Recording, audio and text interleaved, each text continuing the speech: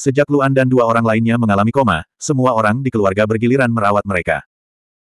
Semula menurut ide semua orang, ketiganya harus ditempatkan di ranjang yang sama dan dirawat bersama. Ini akan lebih mudah, tetapi mereka tidak berani melakukannya. Ketiganya ditempatkan di tiga rumah kayu oleh Fu Yu sendiri. Mereka tidak berani menentang keinginan Fu Yu. Tiga orang terpenting dalam keluarga semuanya terjatuh. Semua orang panik, bahkan Ice Fire Union pun berantakan. Namun untungnya, Liu Yi masih mampu mengendalikan situasi. Dia terus berkomunikasi dengan wanita lain di keluarga dan menstabilkan emosi mereka. Ini mewakili penguatan dan stabilisasi persatuan api es yang berkelanjutan dari keluarga tersebut. Tentu saja, dalam proses menstabilkan Ice Fire Union, Yu Erong memainkan peran yang sangat besar. Keadaan Yu Erong banyak berubah. Awalnya, dia hanya makan dan minum di Ice Fire Union, berjalan-jalan dan bersenang-senang seperti bos. Tapi sekarang, dia jelas jauh lebih sedih. Dia mulai membantu Liu Yi mengelola anggota Ice Fire Union. Misalnya, jika ada yang tidak menaatinya dan ingin merebut tahta, mereka akan dipukuli setengah mati oleh Yuerong. Mereka tidak akan pernah berani bersikap sombong lagi. Setiap hari, para wanita dalam keluarga bola-bali antara Pulau Abadi dan Persatuan Api Es. Bahkan ketika mereka berada di Ice Fire Union, mereka selalu bertanya-tanya apakah Luan akan bangun dan menunggu kabar baik dari Pulau Abadi. Sayangnya, Luan tidak menunjukkan tanda-tanda bangun kecuali kulitnya menjadi sedikit lebih baik. Dia masih koma. Dua wanita lainnya juga sama. Selain cedera ketiganya, ada satu hal lagi yang sangat dipedulikan oleh para wanita di keluarga tersebut. Itu adalah Fuyu. Waktu berlalu sedikit demi sedikit. Hingga saat ini, satu bulan penuh telah berlalu. Selama bulan ini, Fuyu tidak datang satu kali pun. Ada orang yang menjaga Luan sepanjang waktu. Jika Fuyu datang, mereka pasti akan mengetahuinya. Namun sampai saat ini, Fuyu belum datang untuk melihat luka Luan. Dia tidak pernah muncul. Hal ini membuat mereka khawatir akan terjadi sesuatu. Mereka bahkan khawatir Luan tidak akan mampu bertahan. Fu Yu sudah menyerah padanya. Selama sebulan penuh, semua wanita di klan berkumpul di Pulau Abadi, terus-menerus berpindah-pindah di antara rumah kayu milik tiga orang. Melihat Luan, yang kondisinya hampir sama seperti sebulan yang lalu, kekhawatiran dan urgensi di hati setiap orang hampir membuat mereka gila. Bahkan Liu Yi, yang selalu memiliki mentalitas yang baik, juga sama. Luan dan dua lainnya tidak sadarkan diri, dan Fu Yu tidak muncul. Segala sesuatu di keluarga bergantung padanya untuk dipelihara. Dia merasa bahwa dia benar-benar akan pingsan. Kondisi perempuan lainnya bahkan lebih mengkhawatirkan. Para wanita berkumpul di ruangan itu tetapi tidak mengucapkan sepatah kata pun. Seluruh ruangan sunyi. Saat ini, cahaya biru tiba-tiba muncul di luar rumah. Cahaya menyinari rumah melalui jendela, menyebabkan semua wanita gemetar. Mereka segera melihat keluar rumah. Siapa lagi selain Fu Yu yang keluar dari gerbang air surgawi?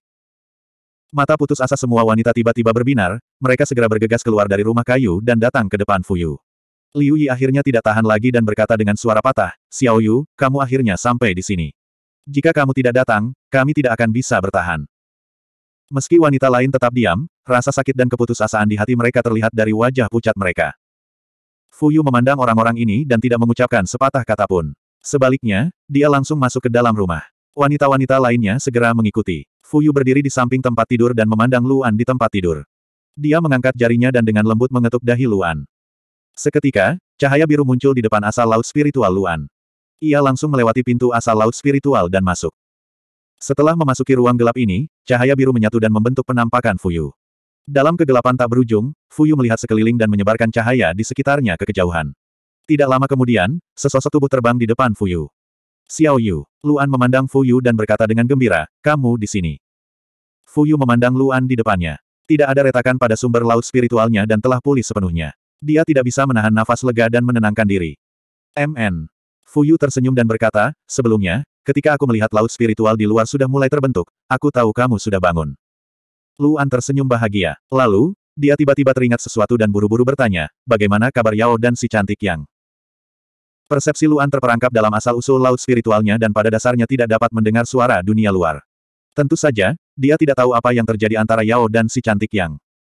Mereka sama denganmu. Laut spiritual mereka telah hancur. Fuyu berkata, asal-usul laut spiritual mereka seharusnya sudah terbangun.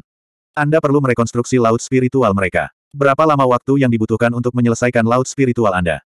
Paling lama empat hari, struktur dasar laut spiritualku akan selesai.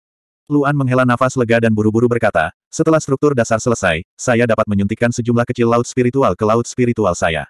Kemudian, saya benar-benar bisa bangun.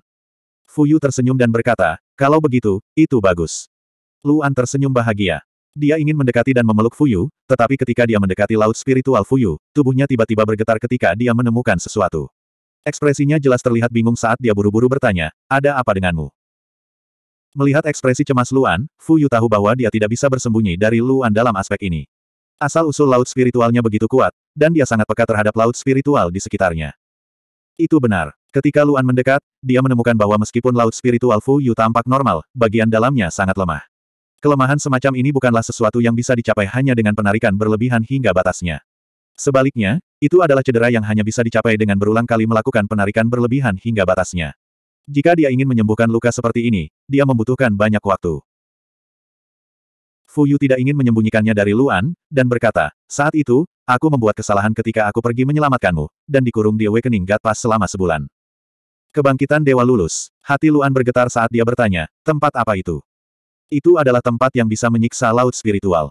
Fu Yu berkata dengan lembut, tidak apa-apa, aku sudah keluar.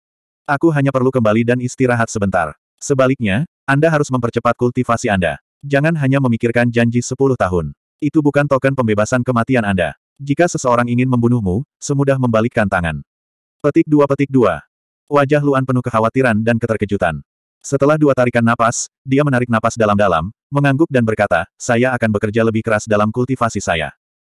Fu Yu tersenyum. Dia memahami karakter Luan dan sangat senang padanya.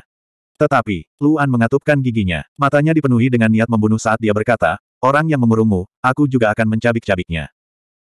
Mendengar perkataan Luan, Fu Yu tiba-tiba terkejut, tapi kemudian dia tersenyum bahagia. Senyumannya bahkan lebih indah dari sebelumnya. Kamu hanya bisa mengatakan itu padaku. Fu Yu memandang Luan dengan mata berbintang dan berkata dengan lembut, tidak akan mudah untuk mengalahkannya, tapi aku percaya padamu. Saya akan melakukannya. Mata Luan dalam saat dia berkata dengan tegas, tidak peduli siapa itu, selama mereka berani menyakitimu, aku akan membuat mereka membayar seribu kali lipat harganya. Melihat mata tegas Luan, Fu Yu tahu bahwa semua yang telah dia lakukan tidak sia-sia. Dia berkata, saya harus pergi. Saya tidak akan dapat menemukan Anda untuk sementara waktu, dan cincin kami telah kehilangan kemampuan untuk berkomunikasi. Luan terkejut dan agak bingung. Dengan kekuatan ayahku, dia bisa dengan mudah merasakan perbedaan pada cincinku. Dia dengan paksa menggunakan kekuatannya untuk menghancurkan hubungan spasial antara kedua cincin itu. Di masa depan, aku tidak akan bisa merasakan auramu untuk membantumu. Fu Yu berkata dengan lembut. Mata Luan menyipit saat dia berkata dengan tegas, aku akan menjaga diriku dengan baik. Kamu tidak perlu khawatir. Fokuslah pada pemulihan. Saat aku menjadi guru surgawi tingkat delapan, aku akan pergi ke klan Fu untuk melamar. Fu Yu tersenyum dan berkata, oke, okay, aku akan menunggumu. Dengan itu, Fu Yu dengan lembut pergi ke pelukan Luan. Setelah memeluknya dengan lembut, cahaya itu perlahan menghilang dan berubah menjadi aliran cahaya biru, keluar melalui pintu lautan kesadaran. Di dunia nyata, Fu Yu membuka mata indahnya dan menarik kembali jarinya. Para wanita lainnya dengan cepat berkumpul di sekitar Fuyu. Liu Yi bertanya dengan cemas, Nona Fu, bagaimana kabarnya? Dia akan bangun dalam empat hari. Kamu tidak perlu khawatir. Fuyu berkata dengan lembut, aku harus pergi. Aku mungkin tidak bisa kembali untuk sementara waktu. Kamu harus menjaganya dengan baik. Para wanita klan tidak menyangka Fuyu akan pergi secepat ini. Namun, status Fuyu benar-benar berbeda dari mereka. Mereka tidak berani bertanya dan hanya bisa berkata, ya, kami akan menjaganya dengan baik. Fuyu berbalik dan keluar dari rumah kayu itu. Dia membuka gerbang Skywater. Wanita lain juga keluar dan menyuruh Fu Yu pergi sebelum kembali ke rumah. Mereka hanya merasa lega ketika Fu Yu tiba dan memberitahu mereka jawabannya. Pada saat ini, mereka semakin yakin dengan status Fu Yu. Selama dia muncul, mereka merasa nyaman. Melihat Luan di tempat tidur, harapan akhirnya muncul di mata para wanita. 1532. Empat hari kemudian. Semua orang di klan berkumpul di rumah kayu, menunggu Luan bangun. Benar saja, Luan tidak membuat mereka menunggu lama, dia membuka matanya saat matahari terbit. Semua orang telah menunggu Luan selama tiga hari tiga malam. Saat mereka melihat Luan membuka matanya, mereka langsung mengelilinginya dengan mata merah. Liu Yi yang pertama berbicara. Dia tidak berani menyentuh tubuh Luan, dan hanya bertanya dengan cemas. Luan, bagaimana perasaanmu? Saya baik-baik saja. Luan baru saja bangun, dan lautan kesadarannya dalam keadaan linglung. Meskipun dia perlahan-lahan telah memindahkan perasaan ilahi dari lautan kesadarannya ke lautan kesadarannya yang baru dibangun, dia masih belum terbiasa menggunakan lautan kesadarannya. Melihat Luan dalam keadaan ini, meskipun hati para wanita itu cemas, mereka tidak berani berbicara. Luan perlahan mengangkat tangannya ke dahinya, dan dengan lemah mengusapnya. Setelah itu, dia menggunakan lengannya untuk menopang dirinya di tempat tidur untuk duduk. Liu Yi, melihat ini, buru-buru menopang punggung Luan, dan membantunya duduk. Luan duduk di tempat tidur, menoleh untuk melihat tempat tidurnya yang kosong, dan bertanya dengan lemah. Di mana Yao dan si cantik Yao? Di dua rumah kayu lainnya. Liu Yi buru-buru berkata. Bantu aku membawanya. Luan bahkan tidak bisa membuka matanya, seolah kelopak matanya sangat berat, tapi suaranya tidak perlu dipertanyakan lagi. Hati Liu Yi bergetar, dan setelah sedikit ragu, dia tidak membujuknya, dan menoleh untuk melihat wanita lain. Wanita lainnya segera mengerti, dan buru-buru pergi ke dua rumah kayu lainnya. Mereka dengan hati-hati menggunakan energinya untuk mengangkat tubuh Yao dan si cantik Yang, dan dengan mantap membawanya ke dalam rumah. Luan pindah ke sudut tempat tidur, dan membiarkan mereka menempatkan kedua istrinya dengan mantap di tempat tidur. Luan mengerutkan kening, dan menutup matanya untuk membangunkan dirinya. Akhirnya, setelah sepuluh napas waktu, Luan membuka matanya lagi, dan dengan mengangkat tangannya, dua sinar energi di fraksi bintang melesat, dan memasuki gelabela kedua wanita itu. Ketika mereka memasuki gelabela, itu adalah kehampaan yang tak ada habisnya. Lautan kesadaran mereka hancur total, tidak meninggalkan satu pun fragmen. Kedua wanita itu persis sama, tapi untungnya, lautan kesadaran mereka masih ada, dan sepertinya tidak bisa ditembus, tanpa ada retakan yang serius. Tampaknya sekitar sebulan terakhir ini, mereka telah mencoba yang terbaik untuk memperbaiki lautan kesadaran mereka. Luan memusatkan kekuatannya dan meletakkan jarinya tepat di antara alis si cantik yang. Segera, perasaan ilahi melonjak menuju lautan kesadaran yang Meiren. Dia memilih untuk memasuki lautan kesadaran yang Meiren terlebih dahulu bukan karena dia bias, tetapi karena lebih mudah. Karena Yang Meiren telah mengorbankan kesadaran spiritualnya kepadanya, dia bisa memasuki lautan kesadaran Yang Meiren tanpa hambatan apa pun. Suara mendesing. Kesadaran spiritual Luan dengan lancar memasuki laut kesadaran Yang Meiren. Namun, kesadaran spiritual Luan saat ini terlalu sedikit. Meski tubuh jasmaninya sedikit bergetar, dia masih berhasil menahannya. Kesadaran spiritualnya memasuki laut kesadaran Yang Meiren, menyatu dengan penampilannya sendiri, dan mulai mencari sosok Yang Meiren. Sebagai guru surgawi tingkat delapan, lautan kesadaran yang Meiren sangatlah besar. Jika Luan ingin mencari, dia pasti akan pingsan karena kelelahan. Untungnya, Luan tidak terbang terlalu jauh di lautan kesadaran. Tiba-tiba, seberkas cahaya terbang dengan cepat dari jauh. Menguasai. Indra ilahi Luan yang lemah bergetar saat dia menoleh untuk melihat ke kanan. Siapa lagi selain si cantik yang yang bergegas mendekat? Bang! Si cantik yang dengan cepat tiba di depan Luan, tapi dengan lembut memasuki pelukan Luan. Si cantik yang memeluk Luan dengan erat, seluruh lautan kesadarannya bergetar. Dia takut. Dia terlalu takut. Sudah 20 hari sejak lautan kesadarannya terbangun. Dalam 20 hari ini, dia terjebak di ruang gelap ini, tanpa waktu, tidak dapat berkomunikasi dengan siapa pun. Tidak ada yang bisa memahami keputusasaannya. Yang lebih buruknya adalah dia tidak tahu bagaimana keadaan Luan, apa yang terjadi padanya, apakah dia bisa bangun, apakah dia bisa melihat Luan lagi. Semua ini seperti pisau tajam yang menghancurkan keinginannya, hampir menyebabkan dia pingsan. Tapi yang membuatnya menangis kegirangan adalah Luan akhirnya datang. Dia ditakdirkan untuk menyelamatkannya, dia tidak akan melanggar kontrak. Meski waktu tunggunya sangat lama, dia tahu Luan pasti menderita. Merasakan gemetar si cantik yang, Luan memeluknya erat-erat, dengan lembut membelai rambut panjangnya, dan dengan lembut berkata, Jangan takut, saya akan menata ulang lautan kesadaranmu dan membiarkanmu bangun kembali. Bagi seseorang sekuat beauty yang yang memiliki mentalitas seperti itu, itu sudah cukup untuk melihat betapa putus asanya dia. Pada saat ini, si cantik yang tiba-tiba memikirkan sesuatu, dia segera mengangkat kepalanya dari pelukan Luan dan dengan cemas bertanya, bagaimana kabar Yao kecil? Saya akan memasuki lautan kesadaran Anda terlebih dahulu. Mata Luan sedikit menyipit, dan berkata, aku belum menemuinya. Kalau begitu cepat pergi dan temui dia. Si cantik yang cemas dan dengan cepat berkata, Yao kecil sangat takut pada kegelapan. Terjebak di lautan kesadaran begitu lama, aku khawatir sesuatu akan terjadi padanya. N. Luan tidak ragu-ragu, mengangguk dan berkata dengan serius, kamu tidak perlu khawatir, karena aku sudah bangun, aku akan membiarkan kalian semua segera bangun. N. Si cantik yang mengangguk dengan penuh semangat, matanya yang indah menatap Luan dan berkata, aku akan menunggumu. Luan tersenyum, dan kemudian rasa ilahinya runtuh, dengan cepat menarik diri dari lautan kesadaran si cantik yang. Dia membuka matanya dan meletakkan jarinya di dahi Yao. Yao berbeda dari si cantik yang, dia tidak mengorbankan rasa ilahi padanya. Divine Sense-nya sangat kuat, dan pada saat yang sama, dia memiliki ki abadi yang tertinggi. Luan tidak yakin apakah dia bisa memasuki lautan kesadaran Yao dalam kondisi rusak seperti itu. Tapi bagaimanapun juga, Luan akan tetap mencobanya. Dia menarik napas ringan, dan mengirimkan informasi sebanyak mungkin ke laut kesadaran Yao. Benar saja, lautan kesadaran Yao hancur total, dan tak lama kemudian Luan menemukan lautan kesadaran yang terbuka. Tapi pintu lautan kesadaran ini tidak ada celahnya, dan tidak ada tanda-tanda akan diserang. Yang membuat Luan semakin terkejut adalah pintu ini terbuka sepenuhnya, dan kosong. Kita harus tahu bahwa dalam keadaan normal, pintu menuju lautan kesadaran tidak akan pernah terbuka. Karena membuka pintu ke asal-usul lautan pengetahuan akan menyebabkan rasa ilahi internal bocor, dan asal-usul lautan pengetahuan memerlukan asal-usul rasa ilahi dan indera ilahi yang tak terhitung jumlahnya yang melayang untuk menjaganya tetap bersama. Asal-usul rasa ilahi seperti pilar utama dari seluruh asal mula lautan pengetahuan, dan rasa ilahi yang melayang merupakan pendukung lain yang tak terhitung jumlahnya. Setelah Divine Sense yang melayang berkurang, hal itu akan menyebabkan asal Divine Sense terpaksa runtuh dan diisi dengan Divine Sense. Kita harus tahu bahwa lautan kesadaran menyerap energi dari dunia luar dan mengubahnya menjadi energinya sendiri jauh lebih lambat daripada kecepatan bocornya keluar dari pintu. Ini sangat merusak lautan kesadaran. Jika ini berlanjut dalam waktu lama, lautan kesadaran akan hilang sama sekali. Luan merasa cemas, dan dengan cepat mengendalikan rasa ilahi untuk membentuk penampilannya sendiri, dan bergegas menuju pintu lautan kesadaran. Suara mendesing. Luan langsung bergegas ke pintu lautan kesadaran, tetapi saat dia bergegas masuk, dia tiba-tiba berhenti. Karena, Yao berada dekat dengan pintu dalam ini, duduk dengan punggung menempel ke dinding. Dia meringkuk menjadi bola, dan lengannya melingkari betisnya. Jubah putihnya melayang di udara kosong, dan pancaran seluruh tubuhnya menjadi sangat ilusi, dan bahkan berkedip-kedip. Iya, Luan merasa cemas, dan buru-buru bergegas memeluk tubuh Yao. Namun, tubuh Yao seringan bulu dalam pelukannya, seolah-olah dia tidak berbobot, seolah-olah dia akan berhamburan jika dia menggunakan lebih banyak kekuatan. Wajah Luan pucat, dan dia sangat cemas hingga dia tidak tahu harus berbuat apa.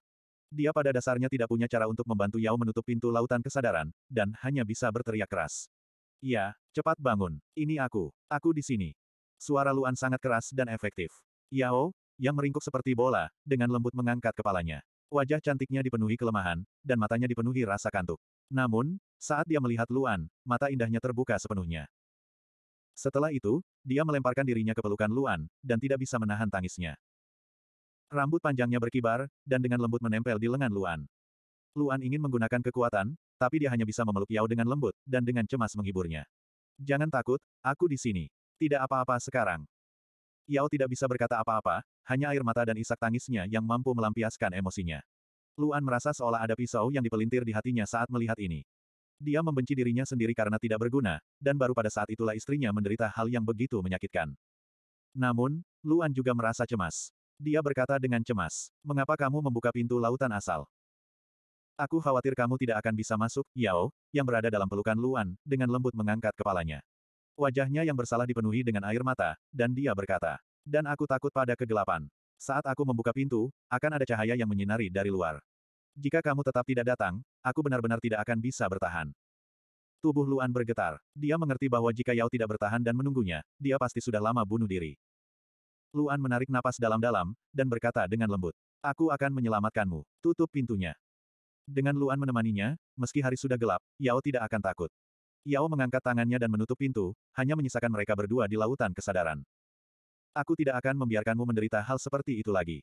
Luan memandang Yao, yang terus-menerus menyeka air matanya, dan berkata dengan tegas. Jangan takut, aku akan membangunkanmu secepatnya. 1533 pada hari-hari berikutnya, Luan mulai menyusun laut kesadaran untuk kedua istrinya. Jika dia ingin menyusun laut kesadaran untuk orang lain, indera ilahi miliknya harus cukup kuat, jadi Luan harus menyelesaikan struktur laut kesadarannya terlebih dahulu, dan dia harus memulihkan lebih dari setengahnya. Namun untuk mencegah kedua istrinya dari rasa takut di ruang gelap, Luan akan menemani kedua wanita tersebut selama setengah jam setiap dua jam untuk menghilangkan rasa takut mereka. Di bawah persahabatan rutin Luan, Yao dan si cantik yang tidak lagi takut, dan kali ini, Luan memiliki sedikit ambisi dan keegoisan sendiri. Setelah berkomunikasi dengan kedua istrinya, mereka berdua pun sepakat. Keegoisan Luan adalah lautan kesadaran yang dia bangun untuk dirinya sendiri kali ini jauh lebih besar dari sebelumnya. Lautan kesadaran Luan cukup besar, tetapi itu tidak berarti lautan kesadarannya cukup besar.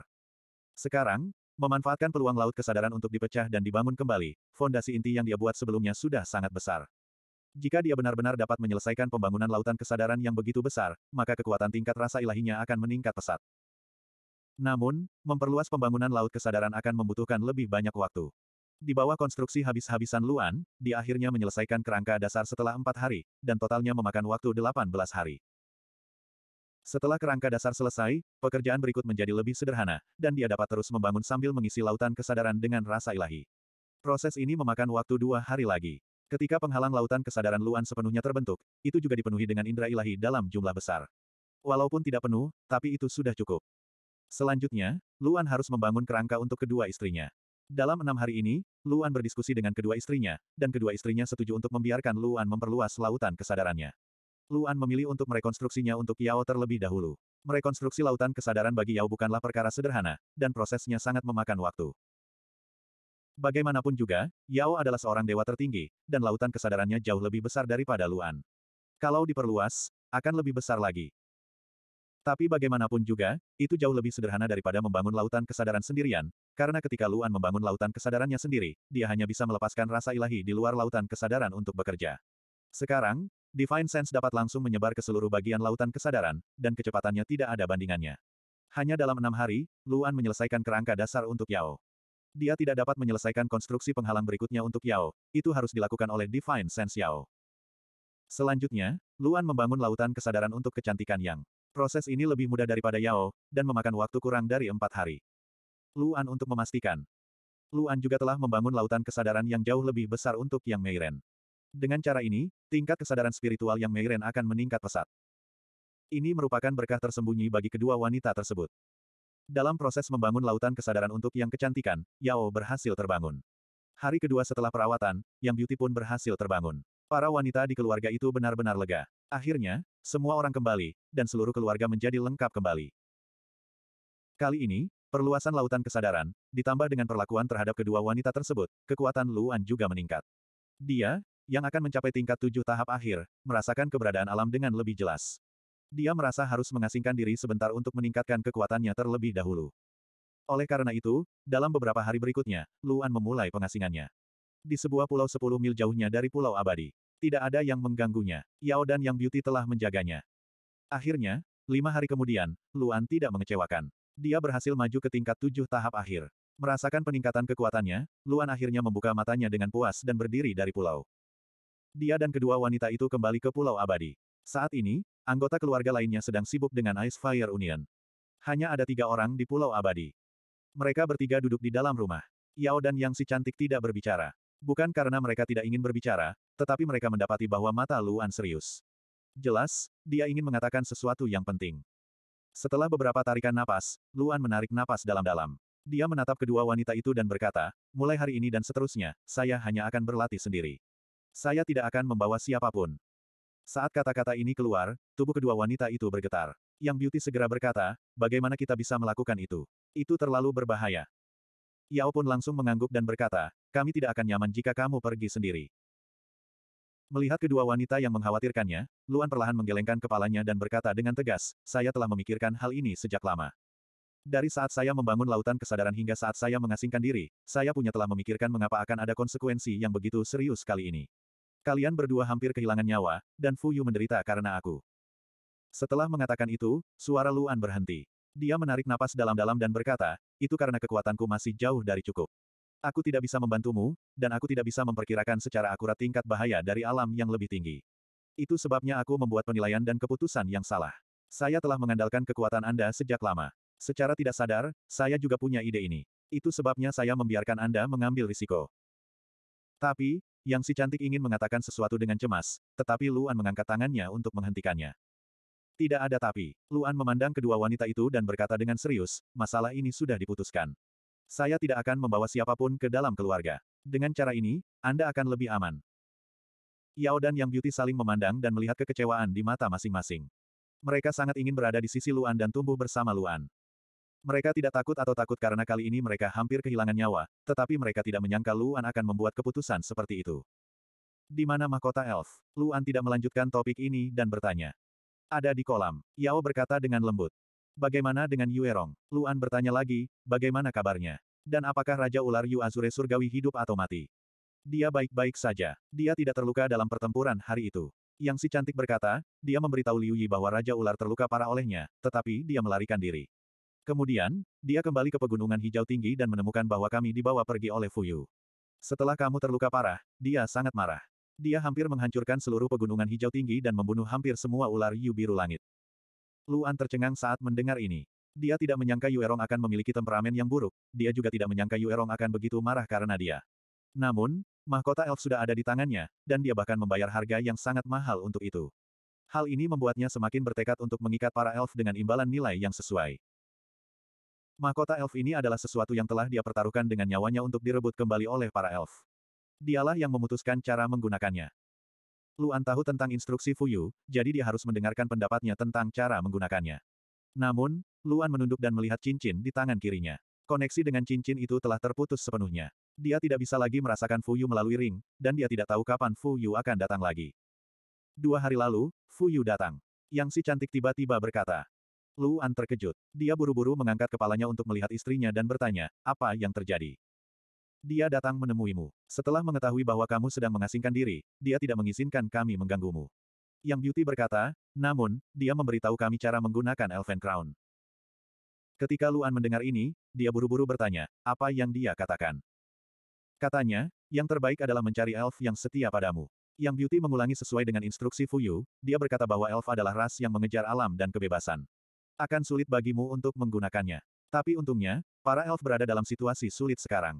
Banyak elf ditangkap di mana-mana. Seluruh ras telah lama putus asa, dan tidak ada kemungkinan bagi mereka untuk bangkit kembali. Di masa depan, jumlah elf akan semakin sedikit. Dalam waktu kurang dari 2000 tahun, mereka akan musnah seluruhnya. Selama kamu bisa menemukan elf yang setia padamu dan memberinya mahkota elf, kamu bisa langsung menjadi Raja Elf. Selama Anda mengendalikan Raja Elf, Anda dapat mengendalikan seluruh ras elf. Pilih elf untuk setia, kendalikan Raja Elf. Luan sedikit mengernyit, dan sesosok tubuh segera muncul di lautan kesadarannya. Dia memandang Yang Si cantik, dan Yang Si cantik memandangnya. Jelas sekali mereka memikirkan orang yang sama. Elf yang dia selamatkan di kerajaan Dewa Pengobatan, Xiao Rou. 1534. Benar, itu adalah Xiao Rou. Mereka bertiga mengetahui keberadaan Xiao Rou. Saat itu, melalui Sengoku Xiao Rou dikirim kembali ke suku Elf. Dalam hal memilih calon, ketiganya berpikiran sama. Xiao Rou memang kandidat terbaik, kata si cantik yang dengan serius. Xiao Rou telah mengalami kesulitan dan tahu bagaimana bersyukur. Setelah kamu menyelamatkannya, dia sangat hormat. Mem, Luan mengangguk lembut dan berkata, dia memiliki hati yang baik. Dengan dia memimpin suku elf, setidaknya mereka tidak akan tersesat. Tapi aku tidak bisa memaksanya. Xiao Rou adalah gadis yang pendiam dan lembut. Jika dia tidak ingin menjadi Raja Elf, aku tidak bisa memaksanya. Mari kita temukan dia dulu. Saat dia mengatakan itu, Luan melihat ke arah Yao dan bertanya, apakah Sengoku masih ingat ke klan mana mereka mengirim Xiao Rou? Iya. Yao mengangguk dan berkata, setiap orang yang memasuki Sengoku akan dicatat, terutama klan Hachiko dan orang-orang di luar sekte tersebut. Bahkan alasan dan keberadaannya akan dicatat dengan jelas. Itu bagus. Luan tersenyum dan berkata, ayo pergi ke Sengoku sekarang. Luan dan Yao segera berdiri. Namun, Luan tidak mengeluarkan mahkota elf dari kolam di bawah air terjun. Pertama, tidak aman menyimpannya di tangannya. Kedua, tidak nyaman untuk memegangnya. Jika Xiao Rou benar-benar setuju untuk menjadi Raja Elf, maka dia akan langsung membawa Xiao Rou ke Pulau Peri dan memakai mahkota Elf. Tanda pisah tanda pisah tanda pisah. Tanda pisah tanda pisah. Sengoku. Gerbang dunia ilahi muncul di halaman guru ilahi. Dua sosok yang keluar secara alami adalah Luan dan Yao. Keduanya muncul di halaman. Segera, guru ilahi dan permaisuri ilahi keluar dari rumah. Saat ini, Yao belum kembali ke rumah selama dua bulan penuh. Yuan dan Jun sangat khawatir. Dulu, Yao pulang ke rumah setiap beberapa hari sekali. Kali ini, itu terlalu lama. Luan tidak menyembunyikan apa yang terjadi selama periode ini dari Yuan dan Jun. Ketika keduanya mengetahui bahwa putri mereka sangat menderita, mereka sangat tertekan dan marah. Tapi untungnya, semuanya sudah berakhir. Di bawah kenyamanan Yao, keduanya tidak marah pada Luan. Setelah Luan menjelaskan tujuan kunjungannya, Yuan dan Jun menjadi tenang. Keduanya sudah hidup lama, sehingga mudah bagi mereka untuk mengontrol emosi. Jun berdiri dan berkata, Aku akan melihat catatannya. Yuan mengangguk. Dia tahu bahwa Jun pergi memeriksanya secara pribadi untuk mencegah orang lain mengetahuinya. Sekarang Sengoku punya mata-mata di mana-mana, mereka harus berhati-hati. Jika kamu ingin mengendalikan ras elf di masa lalu, aku pasti tidak akan setuju.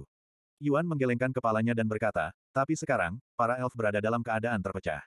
Jika ada seseorang yang bisa memimpin para elf kembali, itu akan menyelamatkan mereka. Saya mendukung Anda dalam masalah ini.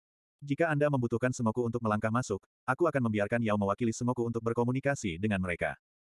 Iya, Luan mengangguk dan berkata, jika perlu, aku akan memberitahu ayah mertuaku. Segera Jun kembali, dia duduk lagi dan berkata kepada Luan, dulu, Sengoku memberikan Rurou kepada suku elf berukuran sedang. Perlombaan elf telah menurun hingga saat ini. Faktanya, tidak banyak balapan tersisa. Jika kamu ingin pergi, aku bisa membukakan pintu ke dunia abadi untukmu. Oke, Luan mengangguk dan berkata, Aku ingin pergi sekarang. Dengan itu, Luan berdiri. Adegan ini mengejutkan Yuan dan Jun. Jun bertanya, kamu pergi sendiri. Iya, Luan berkata dengan serius, aku pergi sendiri. Yuan dan Jun sedikit bingung. Mereka memandang putri mereka, bertanya-tanya apakah ada yang salah dengan hubungan mereka. Namun, mereka berdua tidak mengatakan apa pun di depan Luan. Mereka membuka pintu ke dunia abadi agar Luan bisa pergi. Setelah pintu dunia abadi ditutup, mereka berdua menanyakan alasannya kepada putri mereka.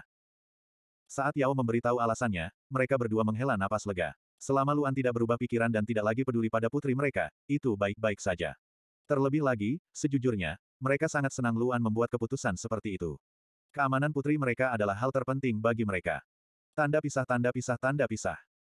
Tanda pisah tanda pisah tanda pisah. Delapan benua kuno, di pegunungan yang tinggi. Ada gunung dan hutan di sini, menjulang tinggi hingga awan. Ada tebing di mana-mana, dan kabut ada di mana-mana. Lingkungan di sini agak lembab, dan baru saja turun hujan. Air hujan terus menetes dari dedaunan, jatuh ke rerumputan berlumpur. Pada saat ini, pintu menuju dunia abadi terbuka. Sesosok keluar dari sana dan mendarat dengan mantap di tanah. Itu adalah Luan. Udara di sini sangat segar. Hanya ada sedikit tempat di delapan benua kuno yang begitu segar. Saat ini, Luan sedang berdiri di lereng gunung, melihat pemandangan di sekitarnya. Lalu, dia sedikit mengernyit. Seketika, persepsi kuatnya menyebar. Ini adalah pertama kalinya Luan menyebarkan persepsinya setelah mencapai tahap akhir level 7. Ini juga pertama kalinya dia menggunakan lautan kesadaran barunya untuk menyebarkan persepsinya. Di masa lalu, meskipun asal-usul lautan kesadaran dan lautan kesadaran Luan sangat kuat, dia hanya bisa menggunakan lautan kesadaran dan lautan kesadarannya. Sepertinya Luan memiliki lautan luas, tapi dia hanya bisa menggunakan lautan kesadarannya melalui sungai kecil. Kini, dia telah berhasil mengembangkan sungai tersebut menjadi sungai. Meski masih ada celah besar antara sungai dan lautan luas, itu merupakan kemajuan besar bagi tubuhnya. Sekarang, kekuatan lautan kesadaran Luan sangat dekat dengan kekuatan guru surgawi tingkat 8. Persepsi Luan menyebar hingga puluhan mil, meliputi semua gunung di dekatnya dan punggung bukit yang curam. Namun, yang mengejutkannya adalah dia tidak bisa merasakan jejak suku elf. Apa yang sedang terjadi? Secara logika, suku elf seharusnya berada di dekat gerbang dunia abadi. Bagaimana mereka bisa menghilang? Mungkinkah seluruh suku diserang oleh manusia dan ditangkap sebagai budak? Mata Luan serius. Dia segera terbang ke langit, menghadap ke seluruh pegunungan. Lalu, dia langsung terbang ke depan. Persepsinya menyebar hingga puluhan mil, terus mencari jejak suku elf. Luan terbang tinggi di langit. Persepsinya mencakup lebih dari separuh pegunungan dari timur ke barat, tapi dia tidak dapat menemukan jejak suku elf. Tepat ketika Luan hampir mengira suku elf sudah tidak ada lagi, sebuah sosok tiba-tiba memasuki persepsi Luan. Luan terkejut. Dia segera mengubah arahnya dan terbang menuju hutan di depannya. Dia menyelam ke dalam hutan dengan kecepatan tinggi. Suara mendesing. Luan langsung muncul di depan sosok ini. Pihak lain sangat ketakutan hingga kakinya menjadi lunak dan dia jatuh ke tanah. Rambut biru dan sedikit cahaya biru di sekujur tubuhnya. Inilah ciri unik suku elf. Tidak ada keraguan tentang hal itu. Luan memandangi elf laki-laki yang ketakutan di tanah dan dengan cepat berkata, aku tidak bermaksud jahat. Namun, ada beberapa hal yang aku ingin kamu jawab. Elf ini merasakan aura mengerikan yang dipancarkan oleh Luan. Dia tahu bahwa dia bukan tandingannya. Dia dengan panik mengangguk dan memohon belas kasihan. Jangan bunuh aku. Aku akan memberitahu Anda. Aku akan menceritakan semuanya padamu. Melihat pihak lain memohon belas kasihan, Luan langsung bertanya, ke mana perginya suku elf? Kenapa kamu sendiri? Elf ini sangat ketakutan hingga dia gemetar. Dia dengan cepat menjawab, setahun yang lalu, suku kami ditemukan oleh suku lain. Pemimpin suku lain meminta agar kedua suku tersebut bergabung, tetapi pemimpinnya harus tetap dia. Suku kami tidak setuju, jadi pihak lain langsung menyerang. Luan terkejut. Ia tak menyangka suku elf yang selama ini dikenal sebagai pecinta alam dan kedamaian akan mengalami hal seperti itu. Dia langsung bertanya, lalu. Pihak lain terlalu kuat. Banyak dari kami yang tewas dalam pertempuran itu. Mereka yang tidak mati terpaksa menyerah dan bergabung dengan suku lain. Elf laki-laki berkata dengan ketakutan, aku memanfaatkan kekacauan ini untuk melarikan diri. Itu sebabnya aku tidak ditangkap. Mendengar penjelasan pihak lain, Luan semakin mengernyit. Jika terjadi pertempuran, Xiao Rou tidak memiliki kekuatan tempur apa pun. Dia akan mudah terpengaruh oleh api perang. Semuanya mengarah pada bencana. Hati Luan mencelos. Namun, dia tidak mau menyerah begitu saja. Dia langsung bertanya, apakah kamu tahu di mana suku elf lainnya berada? Aku, aku tahu. Elf laki-laki dengan cepat mengangkat tangannya dan menunjuk ke barat. Pergi ke barat sampai kamu meninggalkan pegunungan. Ada kota di sana. Kota. Luan tercengang. Suku elf selalu menyukai alam. Yang dia tahu hanyalah mereka tinggal di hutan. Bagaimana mereka bisa membangun kota? Namun, karena ada petunjuknya, Luan tentu saja tidak akan menyerah. Dia segera menghilang di depan elf laki-laki. Dia terbang ke udara dan menuju ke barat dengan kecepatan penuh. Suara mendesing. Luan sangat cepat. Selain itu, pegunungannya tidak terlalu besar. Segera, dia terbang ke tepi barat pegunungan. Ketika dia terbang melewati puncak gunung terakhir di barat, sebuah kota muncul di depan matanya. Ketika Luan melihat kota itu, dia tercengang. Sosoknya berhenti di udara dan tidak maju lebih jauh. Ekspresinya dipenuhi keheranan dan bahkan kaget.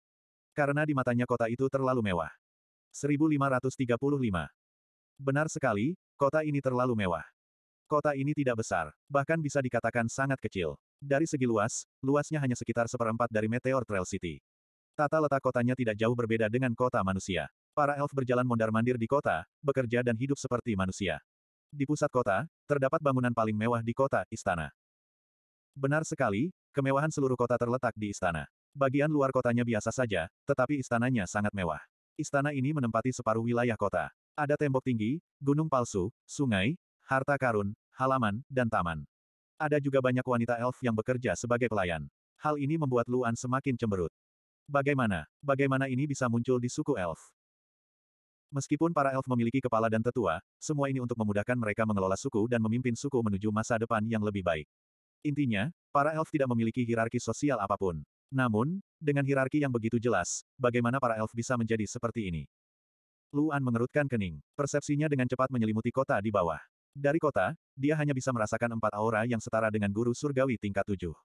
Tidak ada kekuatan yang lebih kuat. Tentu saja, mungkin juga kekuatan yang lebih kuat disembunyikan dan Luan tidak dapat merasakannya. Namun, Sengoku dan para elf selalu berhubungan baik. Luan tidak terlalu khawatir para elf akan menyerangnya. Dia segera turun menuju kota di bawah dan segera tiba di atas istana di tengah. Dia tidak menyembunyikan auranya dan langsung melepaskan energi abadi untuk mengelilinginya. Benar saja, tiga sosok langsung terbang keluar dari berbagai bagian istana. Kemudian, aura terkuat terbang keluar dari tengah istana dan tiba di depan mereka bertiga. Mereka semua memandang Luan. Tidak diragukan lagi, orang-orang ini mengenali energi abadi. Ketika pemimpin itu melihat Luan, dia terkejut pada awalnya. Lalu, dia tertawa dan menangkupkan tangannya. Dia berkata dengan keras kepada Luan, jadi ini tamu terhormat dari Sengoku. Silakan masuk.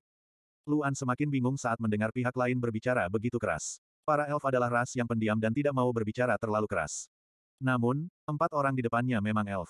Tidak ada kesalahan. Apa yang sedang terjadi? Namun, Luan masih menangkupkan tangannya dan berkata dengan sopan, saya Luan. Mohon maafkan saya karena mengganggu Anda. Apa yang perlu diganggu? Pemimpin kelompok tersebut adalah pemilik kota, yang juga merupakan pemimpin klan elf. Dia berkata dengan lantang, klan kami tinggal di sudut terpencil dan menjalani kehidupan monoton setiap hari. Tidak ada cara bagi kami untuk menghubungi dunia luar. Kini setelah orang-orang dari Sengoku datang berkunjung, kami sangat bahagia. Ikuti aku ke istana. Luan mengangguk dan mengikuti keempat elf itu ke dalam istana. Yang tidak disangka Luan adalah memang ada istana khusus di istana untuk menerima tamu VIP.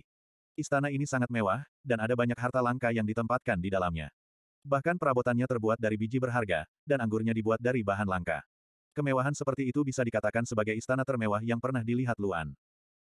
Pahlawan muda Lu, silakan cicipi anggur kami dan cobalah. Sang patriark duduk di ujung meja dan berkata kepada Luan sambil tersenyum. Luan tidak bisa menolak, jadi dia mengambil cangkir anggur dan menyesapnya. Anggurnya terasa manis, tapi tidak sepat sama sekali. Itu sangat mulus. Saat anggur masuk ke perut mereka, mereka merasa seolah seluruh tubuh mereka telah dibersihkan. Mereka mau tidak mau ingin minum lebih banyak. Anggur yang enak, kata Luan jujur. Sang patriark tertawa dan berkata dengan puas, anggur ini diseduh dari bunga pemberian surgawi yang terbaik. Cawan ini membutuhkan satu bunga pemberian surgawi. Ini adalah anggur terlesat di dunia. Bunga pemberian surgawi. Jantung Luan berdetak kencang, dan dia melihat cangkir anggur di tangannya dengan ekspresi serius. Pantas saja dia merasa rasanya begitu familiar, tapi dia tidak bisa mengingat namanya. Itu adalah bunga pemberian surgawi. Luan telah memurnikan begitu banyak ramuan, jadi dia sangat akrab dengan harta karun langit dan bumi. Bunga pemberian surgawi adalah bahan kelas tujuh, dan merupakan bahan kelas tujuh yang sangat langka dan berharga. Itu diperlukan untuk banyak ramuan kelas tujuh. Bahkan banyak ramuan kelas delapan membutuhkan bunga pemberian surgawi, dan harganya sangat mahal. Satu cangkir anggur untuk satu bunga pemberian surgawi, apakah peri ini gila? Jika dia mempunyai begitu banyak bunga pemberian surgawi, mengapa dia tidak membawanya untuk diperdagangkan? Dengan cara ini, dia dapat sepenuhnya meningkatkan kehidupan seluruh klan. Datang, sajikan hidangannya. Sang patriark berteriak dengan keras, menyebabkan tubuh Luan bergetar lagi, dan dia sadar kembali. Luan melihat ke pintu, dan segera melihat sekelompok pelayan masuk dari pintu istana dengan tertib. Masing-masing pelayan memegang nampan di tangan mereka, dan ada makanan lezat di atasnya. Para pelayan ini berlutut dengan hormat, dan meletakkan makanan lezat di meja semua orang. Setelah membungkuk kepada orang di depan mereka dan sang patriark, mereka mundur dari istana. Setelah melihat semua ini, alis Luan semakin berkerut. Dia samar-samar memahami sesuatu. Di bawah kata-kata sang patriark, Luan makan dua suap karena sopan santun.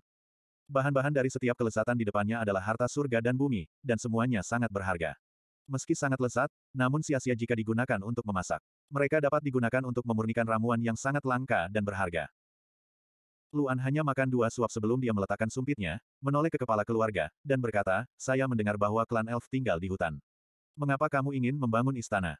Ketika keempat elf mendengar ini, mereka tercengang. Sang patriark meletakkan sumpitnya, tertawa, dan berkata, klan elf awalnya mencintai alam dan kedamaian, tetapi karena itulah klan elf berakhir dalam keadaan ini. Aku tidak takut pahlawan muda lu menertawakanku, tapi aku pernah ditangkap oleh manusia sebagai budak, jadi aku belajar banyak pengetahuan manusia. Belakangan, saya mengetahui mengapa klan elf menurun. Alasannya sangat sederhana, tidak ada yang peduli. Seluruh klan elf terlalu lemah, dan semua orang terlalu senang dan berpuas diri. Tidak ada daya saing sama sekali. Begitu kita diserang oleh orang lain, kita hanya bisa dikalahkan. Jadi, jika ingin kuat, hal pertama yang harus Anda bangun adalah hierarki. Sang patriark berkata dengan keras. Mata Luan sedikit dingin, dan dia tidak berbicara. Hanya dengan hierarki barulah ada manajemen.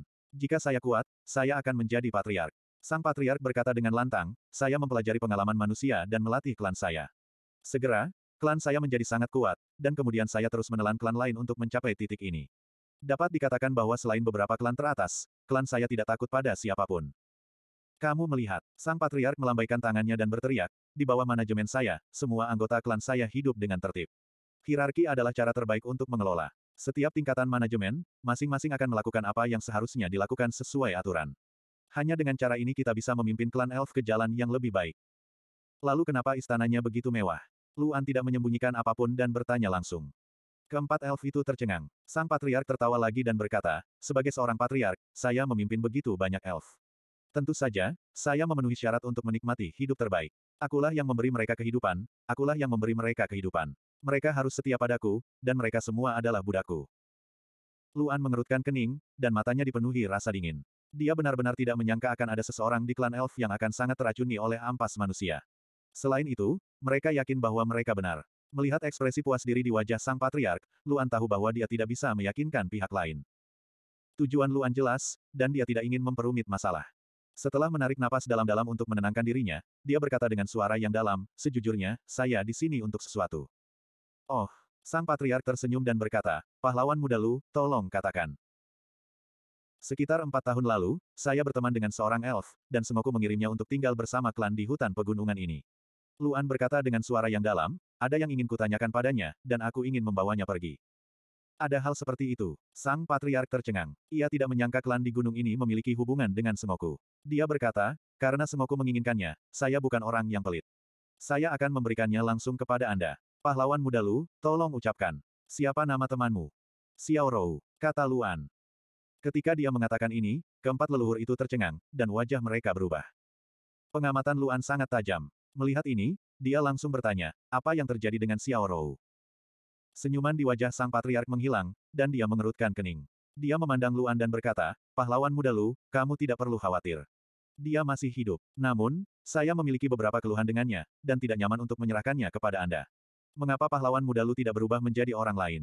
Aku punya banyak elf cantik, bukan hanya Xiao Rou. Luan terkejut. Matanya dingin, dan dia berkata dengan serius, aku hanya menginginkan Xiao Rou. 1536. Saat Luan berbicara, seluruh istana menjadi sunyi. Pemimpin suku elf dan ketiga tetua mengerutkan kening saat mereka melihat ke arah Luan. Meskipun dia berasal dari Semoku, mereka memperlakukannya dengan hormat. Mengapa orang ini begitu tidak bijaksana? Mereka sudah mengatakan bahwa mereka tidak akan memberikannya, tapi dia tetap bersikeras. Mereka berempat melihat ke arah Luan, tapi Luan hanya melihat ke arah pemimpin suku. Dia mengamati ekspresi pemimpin suku, menarik napas dalam-dalam, dan bertanya dengan sungguh-sungguh, saya bersedia menukar sesuatu dengan imbalan agar Rurou pergi bersama saya. Tidak, pemimpin suku langsung menolak dan berkata dengan lantang, jangan bilang aku tidak memberimu muka. Kamu bisa memilih wanita mana pun di sukuku, tapi bukan dia. Aku tidak akan menukar apa pun untuknya. Tatapan Luan berubah dingin saat dia bertanya, kenapa? Pemimpin suku tidak berbicara, dan kedua belah pihak saling berhadapan. Pada saat ini, tetua di samping melihat situasinya dan menjelaskan kepada Luan, Rurou adalah kecantikan alami dan merupakan wanita tercantik di suku kami. Setahun yang lalu, setelah pemimpin suku bergabung dengan sukunya, dia selalu sangat menyayangi Rurou dan ingin menikahinya. Namun, Rurou menolak dan bahkan mengancam akan bunuh diri, sehingga pemimpin suku tidak punya pilihan. Namun, pemimpin suku masih sangat mencintai Rurou. Untuk membujuk Rurou agar menerimanya, pemimpin suku. Apa? Luan mengerutkan kening saat dia melihat ke arah tetua yang tergagap itu dan bertanya. Aku menghukumnya. Aku menyuruhnya melakukan pekerjaan tersulit dan paling melelahkan di istana pada siang hari dan menghukumnya pada malam hari. Tanpa menunggu jawaban dari tetua, pemimpin suku berkata dengan lantang, aku membuatnya mengalami nasib yang lebih buruk daripada kematian. Saya tidak percaya dia bisa bertahan dan menolak untuk mematuhi saya. Mendengar ini, tubuh Luan menegang, dan aura pembunuh muncul dari lubuk hatinya. Namun, Luan menekan aura pembunuhnya dan tidak bertindak gegabah. Dia memandang pemimpin suku dengan acuh tak acuh dan berkata, saya mengerti. Karena pemimpin suku sangat mencintai Rurou, aku tidak akan membawanya pergi. Namun, ada beberapa kata yang harus kuucapkan pada Rurou sendirian. Saya berharap pemimpin suku dapat membuat pengecualian dan mengizinkan saya bertemu dengannya. Mendengar Luan mundur selangkah, ekspresi patriark menjadi lebih tenang, dan dia berkata dengan keras, saya bukan orang yang pelit, karena kamu dan Xiao Rou adalah teman, kamu secara alami dapat melihatnya. Pada saat yang sama, saya berharap pahlawan muda Lu dapat membantu saya membujuknya. Saya sangat mencintainya. Dia akan segera dapat menikmati kemuliaan dan kekayaan bersamaku. Mengapa dia harus menderita? Luan tidak mengatakan apa pun. Dia hanya berdiri dan bertanya, di mana dia? Pemimpin klan memandang ke arah tetua, yang dengan cepat berkata, Rurou seharusnya berada di istana Tian Huan sekarang.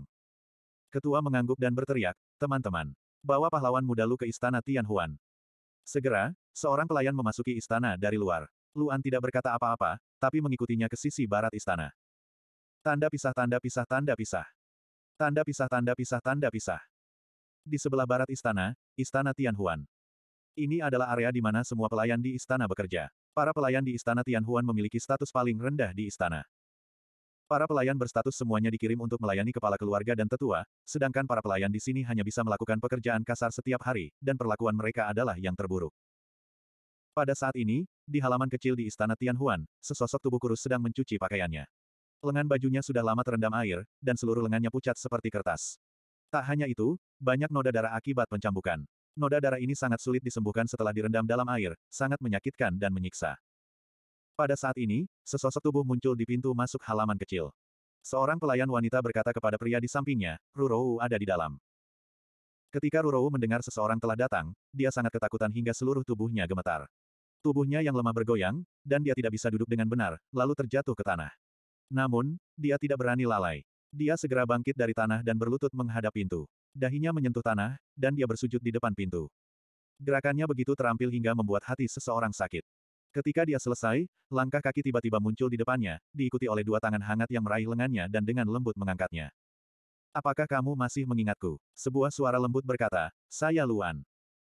Suara ini langsung mengejutkan Rurou, seolah-olah telah menembus jiwanya. Dia mendongak dengan tidak percaya, hanya untuk menemukan bahwa orang yang dia rindukan sedang berjongkok di depannya. Rurou tertegun, seolah-olah dia menjadi konyol, dia menatap Luan dengan mata terbuka lebar.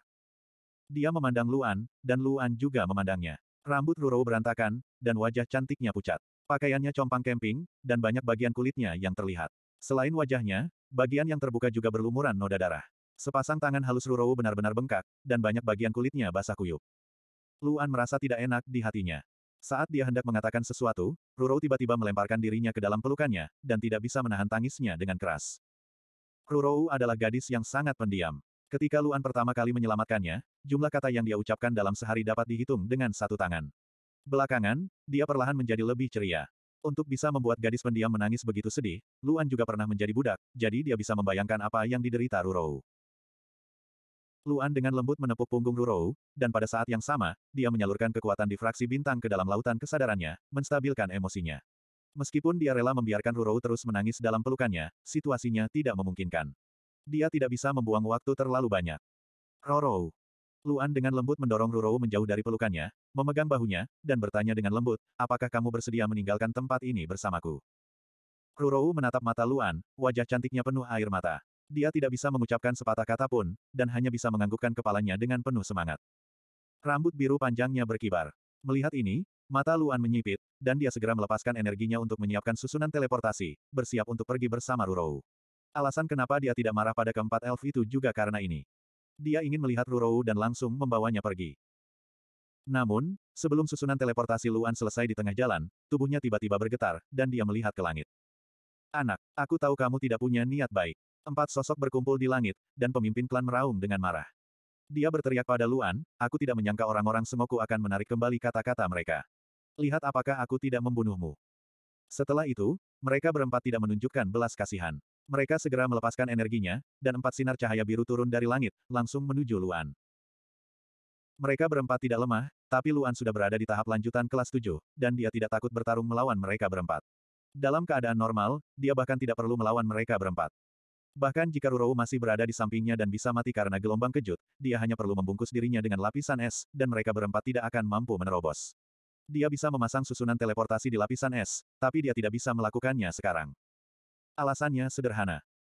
Jika dia menggunakan lapisan es untuk melindungi dirinya sendiri, dan empat serangan menghantam lapisan es, meskipun dia dan Rurou bisa bertahan, gelombang kejut dari serangan tersebut akan langsung membuat seluruh kota menjadi abu. Dengan kata lain, semua peri di kota akan mati. Luan tidak menyangka pihak lain akan menyerang langsung di istana, dan tidak peduli dengan nyawa rakyatnya. Peri-peri lain tidak bersalah, dan dia tidak bisa membiarkan mereka semua mati hanya untuk menyelamatkan Rurou. Karena itu, Luan berhenti menyiapkan susunan teleportasi, dan segera menepuk telapak tangan kanannya ke atas. Telapak tangan besar tujuh warna muncul di langit di atas istana, tapi Luan tidak menghadapinya secara langsung. Sebaliknya, dia menyerang empat serangan dari samping. Bang! Keempat serangan tersebut mengenai teknik penangkap naga, dan di bawah kekuatan teknik penangkap naga yang kuat, mereka dikirim terbang ke arah yang berbeda, menuju pegunungan yang jauh dari kota. Ledakan. Terjadi ledakan keras, dan pegunungan di kejauhan menghilang dalam sekejap, dan lubang hitam pekat muncul. Saat mereka berempat di langit hendak menyerang lagi, mereka melihat Luan tiba-tiba terbang dan melarikan diri menuju pegunungan yang jauh. Bagaimana mereka berempat bisa membiarkan Luan kabur begitu saja? Mereka segera mengejarnya. Tak lama kemudian, kedua belah pihak sudah jauh dari jangkauan istana. Karena Rurou tidak memiliki kemampuan bertarung apa pun, kecepatan Luan sangat lambat, dan dia harus memperlambatnya juga. Jika tidak, Rurou akan terbunuh oleh kelembaman tersebut. Karena alasan ini, Luan tidak punya pilihan selain memperlambat dan menggunakan kekuatannya untuk membatasi empat orang di kejauhan. Untungnya, meskipun keempat orang ini kuat, kekuatan tempur mereka sebenarnya sangat buruk. Meskipun mereka kuat di antara para elf, para elf tetap menyukai perdamaian, dan kekuatan tempur mereka tidak hanya sedikit lebih lemah dibandingkan ras lain. Luan dengan mudah menahan mereka berempat. Pada saat ini, kecepatan Rurou akhirnya melambat hingga dia benar-benar berhenti, dan Luan menempatkannya di tanah hutan. Kemudian, Luan dengan cepat datang ke depan Rurou dan berteriak, Urat of the Ocean. Dalam sekejap, lapisan es besar yang panjang dan lebarnya ribuan kaki muncul di pegunungan, dan udara dingin yang dipancarkannya membekukan segalanya. Alasan mengapa Luan membangun lapisan es yang begitu besar adalah karena dia khawatir mereka berempat di langit akan memindahkan lapisan es tersebut dengan paksa. Meskipun mereka tidak dapat memecahkannya, mereka dapat mengganggunya dalam menyiapkan susunan teleportasi. Dengan cara ini, ruang di dalamnya sangat besar, dan mereka berempat tidak akan dapat mempengaruhinya sebelum dia selesai menyiapkan susunan teleportasi. Segera, Luan segera memasang gerbang api suci. Tidak peduli bagaimana mereka berempat menyerang lapisan es, itu tidak merusaknya sama sekali. Kepala suku sangat cemas sehingga dia mengutuk, dan dia persis seperti penjahat di dunia manusia. Sayangnya, suaranya tidak dapat mencapai bagian dalam lapisan es, dan Luan dengan cepat menyelesaikan pembangunannya. Ayo pergi, Luan berkata, dan segera memasuki gerbang api suci bersama Rurou. Gerbang api suci ditutup, dan keduanya menghilang dari dunia ini, hanya menyisakan lapisan es besar yang tidak menghilang untuk waktu yang lama, dan empat elf di langit yang bingung dan jengkel. 1537. Di wilayah Laut Bei yang luas, Pulau Surgawi. Kamu. Gerbang api suci muncul, dan dua sosok dengan cepat terbang keluar. Siapa lagi selain Luan dan Xiaorou? Keduanya terbang keluar, dan di bawah perlindungan Luan, keduanya terus mendarat di rumput. Semuanya terjadi terlalu cepat. Xiao Rou, yang tidak memiliki kekuatan bertarung apa pun, tidak dapat melihat dengan jelas pertarungan tadi. Selain tubuhnya yang lemah, meskipun gerakan Luan sangat ringan, dia masih merasa pusing. Di sisi lain, setelah melihat mereka berdua kembali, Yao dan si cantik yang segera maju ke depan. Yao sudah lama kembali ke Pulau Surga dari Sengoku untuk menunggu, dan si cantik yang juga belum pergi. Ketika keduanya melihat Luan telah kembali dengan selamat, mereka menghela nafas lega. Namun, sepertinya mereka masih bergerak. Mereka bertanya, apakah kamu terluka? Tidak. Luan menggelengkan kepalanya dan berkata, hanya ada empat peri yang setara dengan guru surgawi tingkat tujuh. Saya baik-baik saja. Setelah mendengar ini, mereka berdua menjadi lebih lega. Mereka menoleh untuk melihat Xiaorou yang lemah. Xiaorou tidak pingsan dengan bantuan energi spasial. Yao segera berjalan ke sisi Xiaorou. Mengangkat tangannya, kemampuan penyembuhan yang kuat mengalir ke tubuh dan kesadaran Xiaorou. Energi surgawi adalah simbol kehidupan.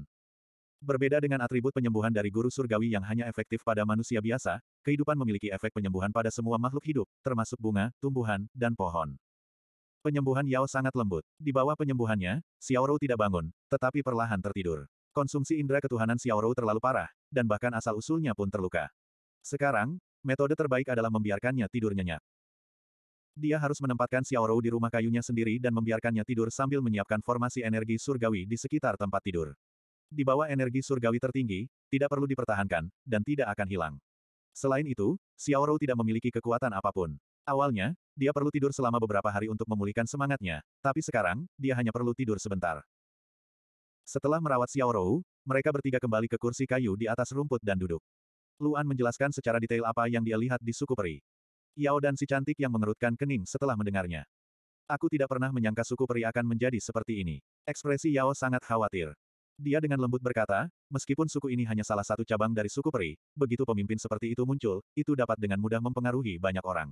Begitu kebiasaan ini perlahan menyebar, itu akan berdampak buruk. Itu benar.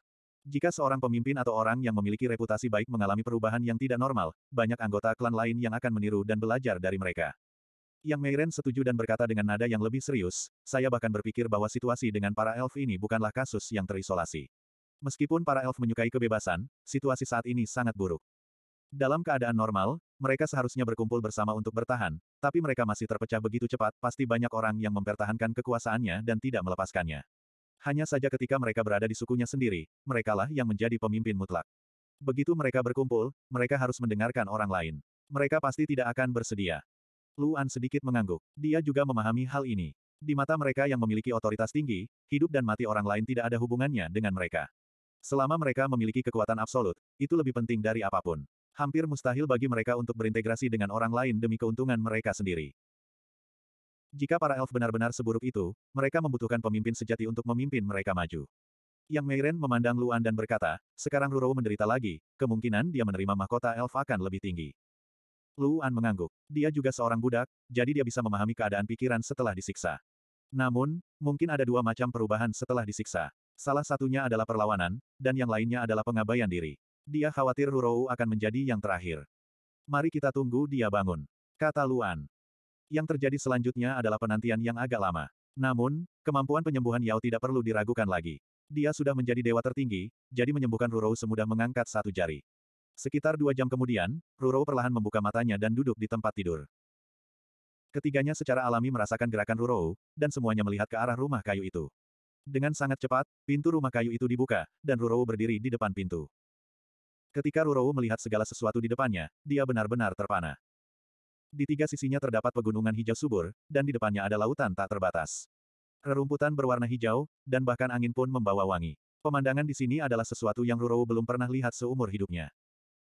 Meski pemandangannya indah, yang benar-benar membuatnya tercengang adalah tiga orang di depannya. Tentu saja, Luan tidak perlu disebutkan. Dia juga pernah melihat Yang Meiren dan Yao Yao sebelumnya, tapi dia benar-benar tidak menyangka akan melihat mereka di sini. Untuk sesaat, pikirannya benar-benar kosong, dan dia bahkan curiga bahwa dia sedang bermimpi. Pulau menawan seperti itu hanya akan ada dalam mimpinya, dan dia hanya akan bertemu ketiga orang ini dalam mimpinya. Dibandingkan dengan Rurou, tiga orang lainnya sangat tenang.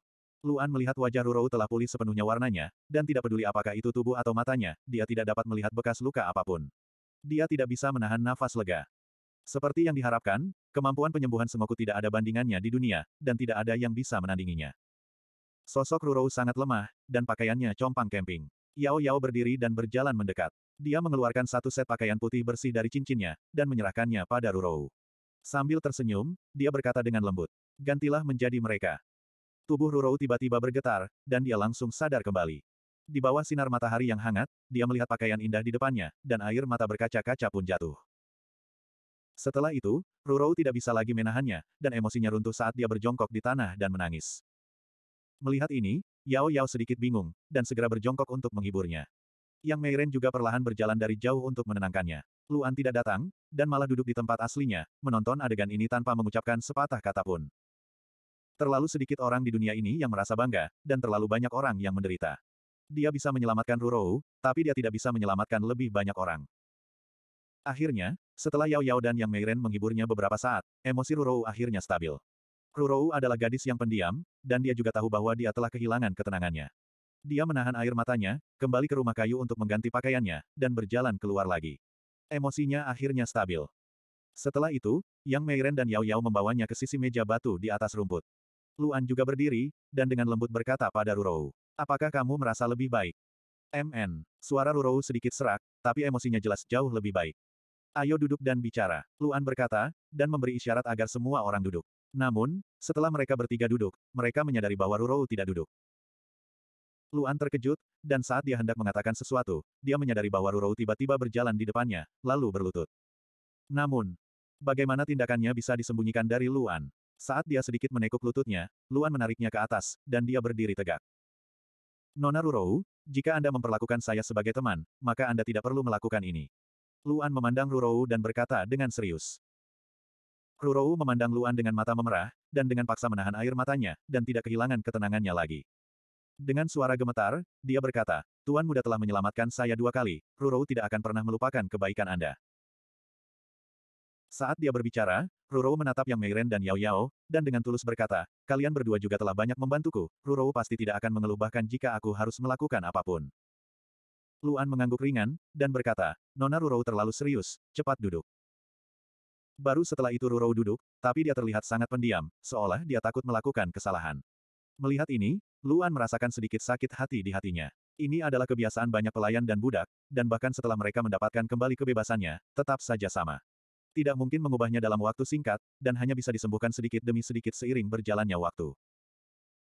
Luan tidak terburu-buru memberitahu Rurou tentang mahkota elf, karena dia takut Rurou tidak akan bisa menerimanya dalam waktu singkat.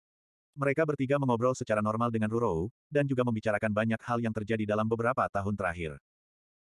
Ketika Rurou mengetahui bahwa Yao Yao dan Yang Meiren telah menjadi istri Luan, dia terkejut.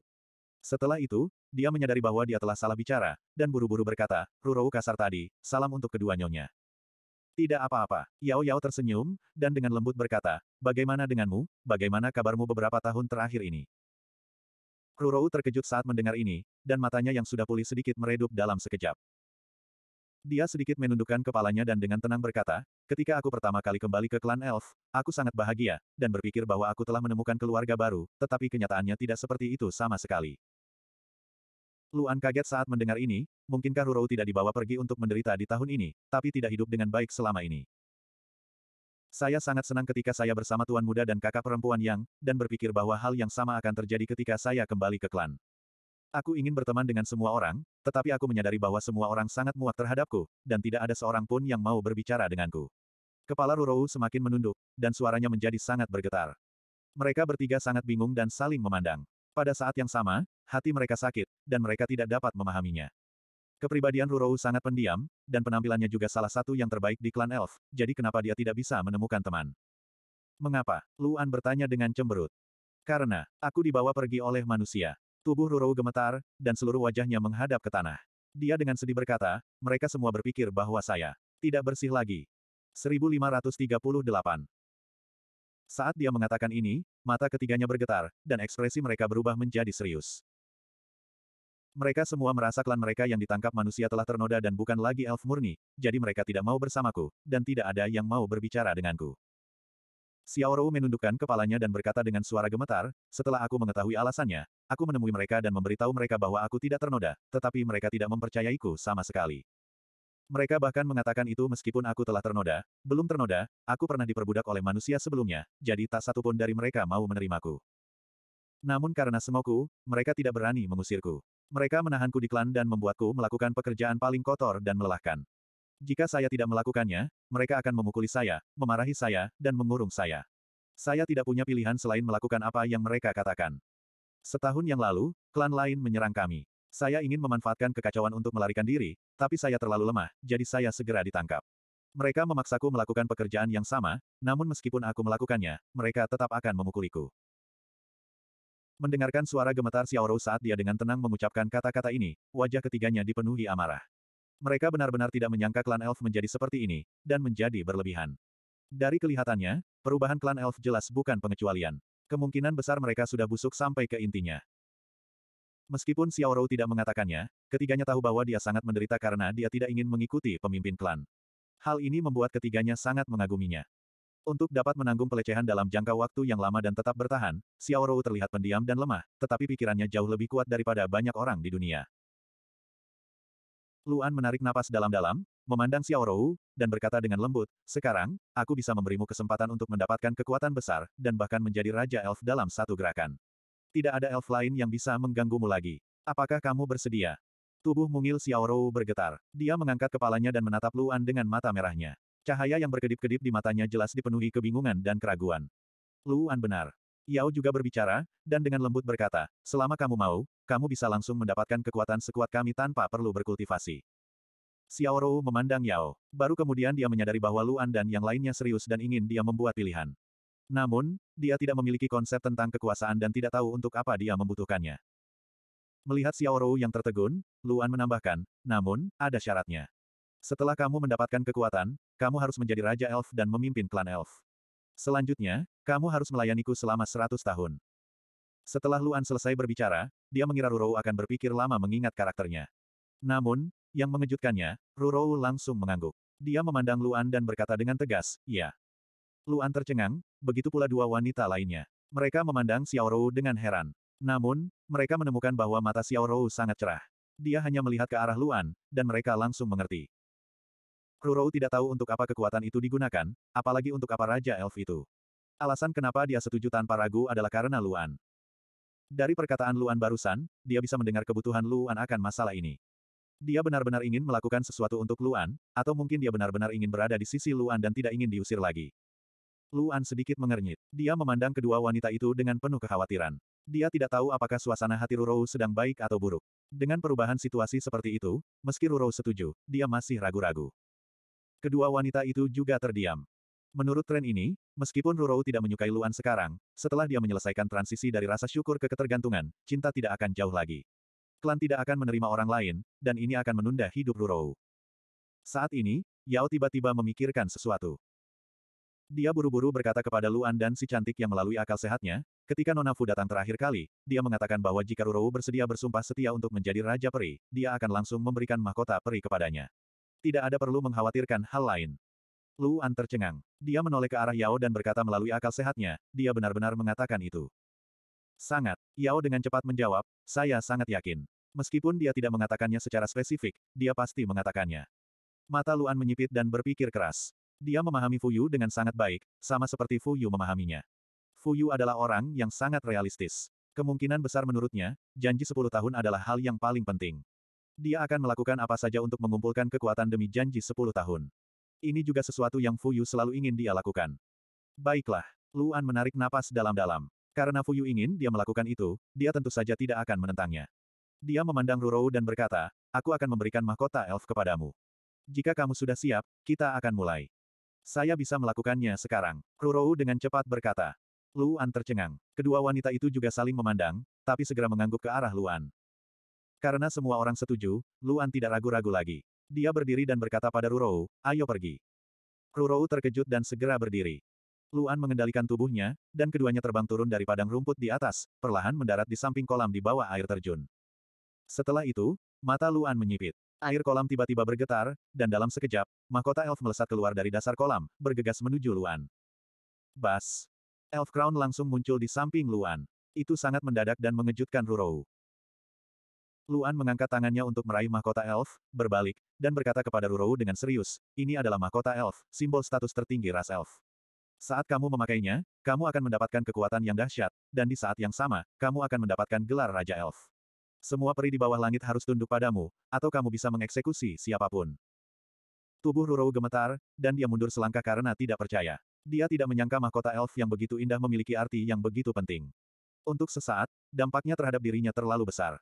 Ini benar-benar berbeda dari kehidupan sebelumnya. Aku akan mengingatkanmu untuk yang terakhir kalinya.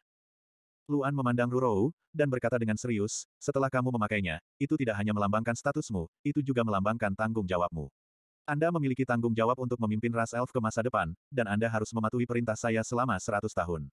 Jika kamu menarik kembali kata-katamu, aku pasti akan mengambil kembali mahkota elf, tidak peduli berapa harga yang harus kamu bayar. Tubuh Rurou gemetar lagi, tapi kali ini, matanya menjadi jernih dan cerah, tanpa keraguan atau kebingungan. Dia segera melangkah maju ke depan Luan, mengangkat tangannya, dan langsung mengambil mahkota elf dari tangan Luan. Tidak seratus tahun. Mata Rurou yang tenang menunjukkan keyakinan yang luar biasa. Dia memandang Luan dan berkata dengan tegas, Tuan Mudalah yang mengizinkan Rurou dilahirkan kembali. Rurou bersedia mengikuti Tuan Muda selamanya, dan bersedia melakukan perubahan apa pun untuk Tuan Muda. Rurou tidak ragu-ragu mengangkat mahkota elf, dan menaruhnya di kepalanya. Gemuruh. Ledakan keras terdengar, dan aura menakutkan langsung membuat Luan terbang, memaksanya mundur seratus kaki jauhnya. Angin kencang bertiup melintasi seluruh pulau surgawi, dan si cantik Yao serta si cantik Yang yang telah menyaksikan semuanya dari tebing juga gemetar. Elf Crown sekali lagi menunjukkan kekuatannya, dan langit dan bumi berubah warna. Dengan pulau surgawi sebagai pusatnya, lautan dengan diameter beberapa ratus mil langsung membentuk pusaran air yang sangat besar. Pusaran air ini begitu menakutkan sehingga membuat seluruh pulau surgawi terkena angin kencang, dan langsung mencapai dasar laut. Bahkan si cantik Yao dan si cantik yang sangat terkejut saat melihat momentum yang ditimbulkan oleh kekerasan lautan. Mereka pasti tidak bisa mencapai kekuatan seperti itu. Bukan hanya lautan, bahkan langit pun sama. Langit telah berubah dari biru menjadi hitam pekat, dan angin kencang menyapu langit, sama sekali tanpa sinar matahari. Seluruh langit juga telah membentuk pusaran air besar, dan lautan bahkan lebih besar lagi. Yang lebih mengejutkan lagi adalah tepi pusaran air dahsyat di lautan jauh sebenarnya terhubung ke langit, dan di tengah pusaran air di langit, yang berada tepat di atas pulau surgawi, kekuatan mengerikan turun dari langit. Seperti tornado yang menyapu, seolah ingin menghancurkan seluruh pulau surgawi. Ah! Xiaoro menjerit, tetapi suaranya tidak dapat disalurkan dari badai yang dahsyat, juga tidak dapat disalurkan melalui suara hari kiamat yang mengerikan antara langit dan bumi. Tiga orang lainnya menyaksikan pusaran air besar turun dari langit, dan mereka tidak pernah menyangka akan terjadi hasil seperti itu. Jika ini terus berlanjut, itu bukan masalah kehancuran pulau surga, tapi masalah apakah mereka bisa bertahan hidup di pusaran air ini. Mereka ingin melarikan diri, tetapi mereka menemukan bahwa seluruh ruang terbatas, dan mereka tidak dapat membuat susunan teleportasi. Gemuruh. Pusaran air yang menakutkan, seperti datangnya hari kiamat, akhirnya sampai di atas pulau surga. Si cantik Yao dan si cantik yang begitu ketakutan hingga mereka memejamkan mata, dan bahkan Luan yang selalu tenang pun menyipitkan matanya, berdiri di tengah badai yang dahsyat dengan seluruh tubuhnya terentang kencang saat dia menyaksikan semuanya. Pada saat ini, mahkota elf di kepala Xiao Rou menyala. Cahaya menyala dalam kegelapan seperti hari kiamat, dan langsung terhubung dengan pusaran air besar yang turun dari langit. Pusaran air yang menakutkan tidak menghantam pulau surgawi, tetapi sepenuhnya ditelan oleh cahaya mahkota elf. Berikutnya. Bas. Dalam sekejap, seluruh tubuh Xiaorou meledak dengan cahaya yang menyilaukan, menerangi seluruh dunia. 1539. Cahaya yang terpancar dari tubuh Xiaorou, langsung memenuhi pusaran seluruh langit lautan. Gelombang laut dan pusaran langit membentuk lingkaran tertutup, dan pancaran cahaya yang kuat menembus ruang tertutup ini, menyebar jauh dan luas. Cahaya yang menyilaukan menyebabkan Luan dan kedua gadis itu segera menoleh dan menutup mata, tidak dapat melihat secara langsung. Mereka tidak dapat melihat atau merasakan apa pun, namun mereka masih dapat mendengar suara. Jeritan Xiaorou benar-benar lenyap, dan ledakan besar di langit dan lautan berangsur-angsur menjadi lebih lembut. Seolah-olah akhir dunia perlahan memudar, dan cahaya kembali turun ke dunia ini. Tidak hanya itu, Luan dan kedua gadis itu juga merasakan tekanan di sekitar mereka melemah dengan cepat. Dengan sangat cepat, mereka bertiga sadar kembali, dan juga kemampuan mereka untuk bergerak. Di tebing, Si cantik Yao dan si cantik yang dengan paksa membuka mata mereka, dan segera melihat ke arah Luan yang berada di samping kolam di bawah. Suara mendesing. Suara mendesing. Dua sosok cantik langsung muncul di samping Luan, bersiap menghadapi segala kemungkinan kapan saja. Saat tekanannya mereda, Luan dengan cepat memulihkan kekuatannya juga. Dia menoleh dan membuka matanya. Memasuki matanya, tubuh Luan bergetar. Xiaoro masih berdiri di tempat yang sama di samping kolam tidak jauh dari sana, dan tidak bergerak sama sekali. Namun, Perbedaannya adalah pada saat ini, seluruh tubuhnya masih memancarkan sinar yang kuat, dan itu adalah sinar hijau yang samar. Matanya tertutup rapat, dan mahkota elf masih menempel di kepalanya. Tidak hanya pancarannya yang berubah, temperamen Xiaorou juga mengalami perubahan besar. Meskipun Xiaorou masih terlihat seperti gadis pendiam, dia bukan lagi gadis yang lemah. Tubuh Xiaorou memancarkan kekuatan yang menakutkan, dan bahkan Luan merasakan jantungnya berdebar saat melihatnya. Pada saat ini, Xiao Rou membuka matanya, dan dalam sekejap, aura alami muncul, menyebabkan Luan dan dua lainnya gemetar. Ke mana pun aura ini lewat, semua pepohonan dan semak-semak yang hancur oleh angin kencang langsung pulih setelah terkena aura ini, seolah-olah badai dahsyat sebelumnya tidak pernah terjadi. Luan dan dua lainnya sekali lagi terkejut saat melihat pemandangan ini. Mungkinkah ini kekuatan untuk mengendalikan alam? Setelah Xiao Rou membuka matanya, hal pertama yang dia lakukan adalah melihat ke arah Luan. Luan terkejut, lalu dia melihat Xiao Rou berjalan ke arahnya.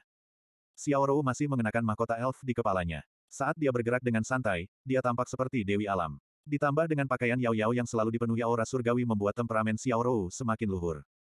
Xiao Rou berjalan dengan lembut ke arah Luan. Luan masih sok saat melihat transformasi Xiao Rou. Dia tidak tahu harus berkata apa. Tiba-tiba, Xiao Rou berlutut. Kali ini, Luan tidak memiliki kekuatan untuk menghentikan Xiao Rou. Bang!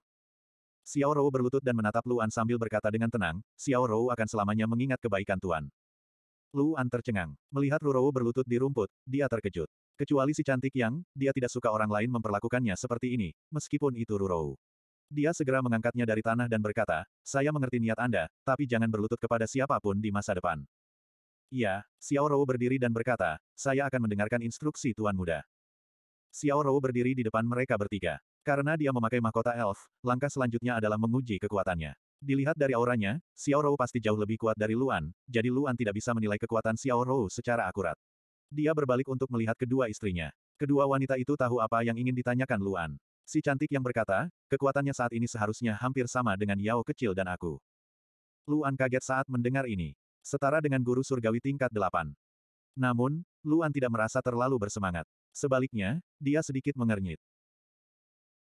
Meskipun dia berpikir bahwa setelah memakai mahkota elf, kekuatan Xiao Rou pertama-tama akan mencapai tingkat yang relatif tinggi, dan kemudian dia akan terus mengolah dan menyerap kekuatan mahkota elf untuk meningkatkan kekuatannya, dia juga berpikir bahwa dia akan langsung menyerap semua kekuatan di Elf Crown, dan ahli lain yang sebanding dengan Yue Rong akan muncul.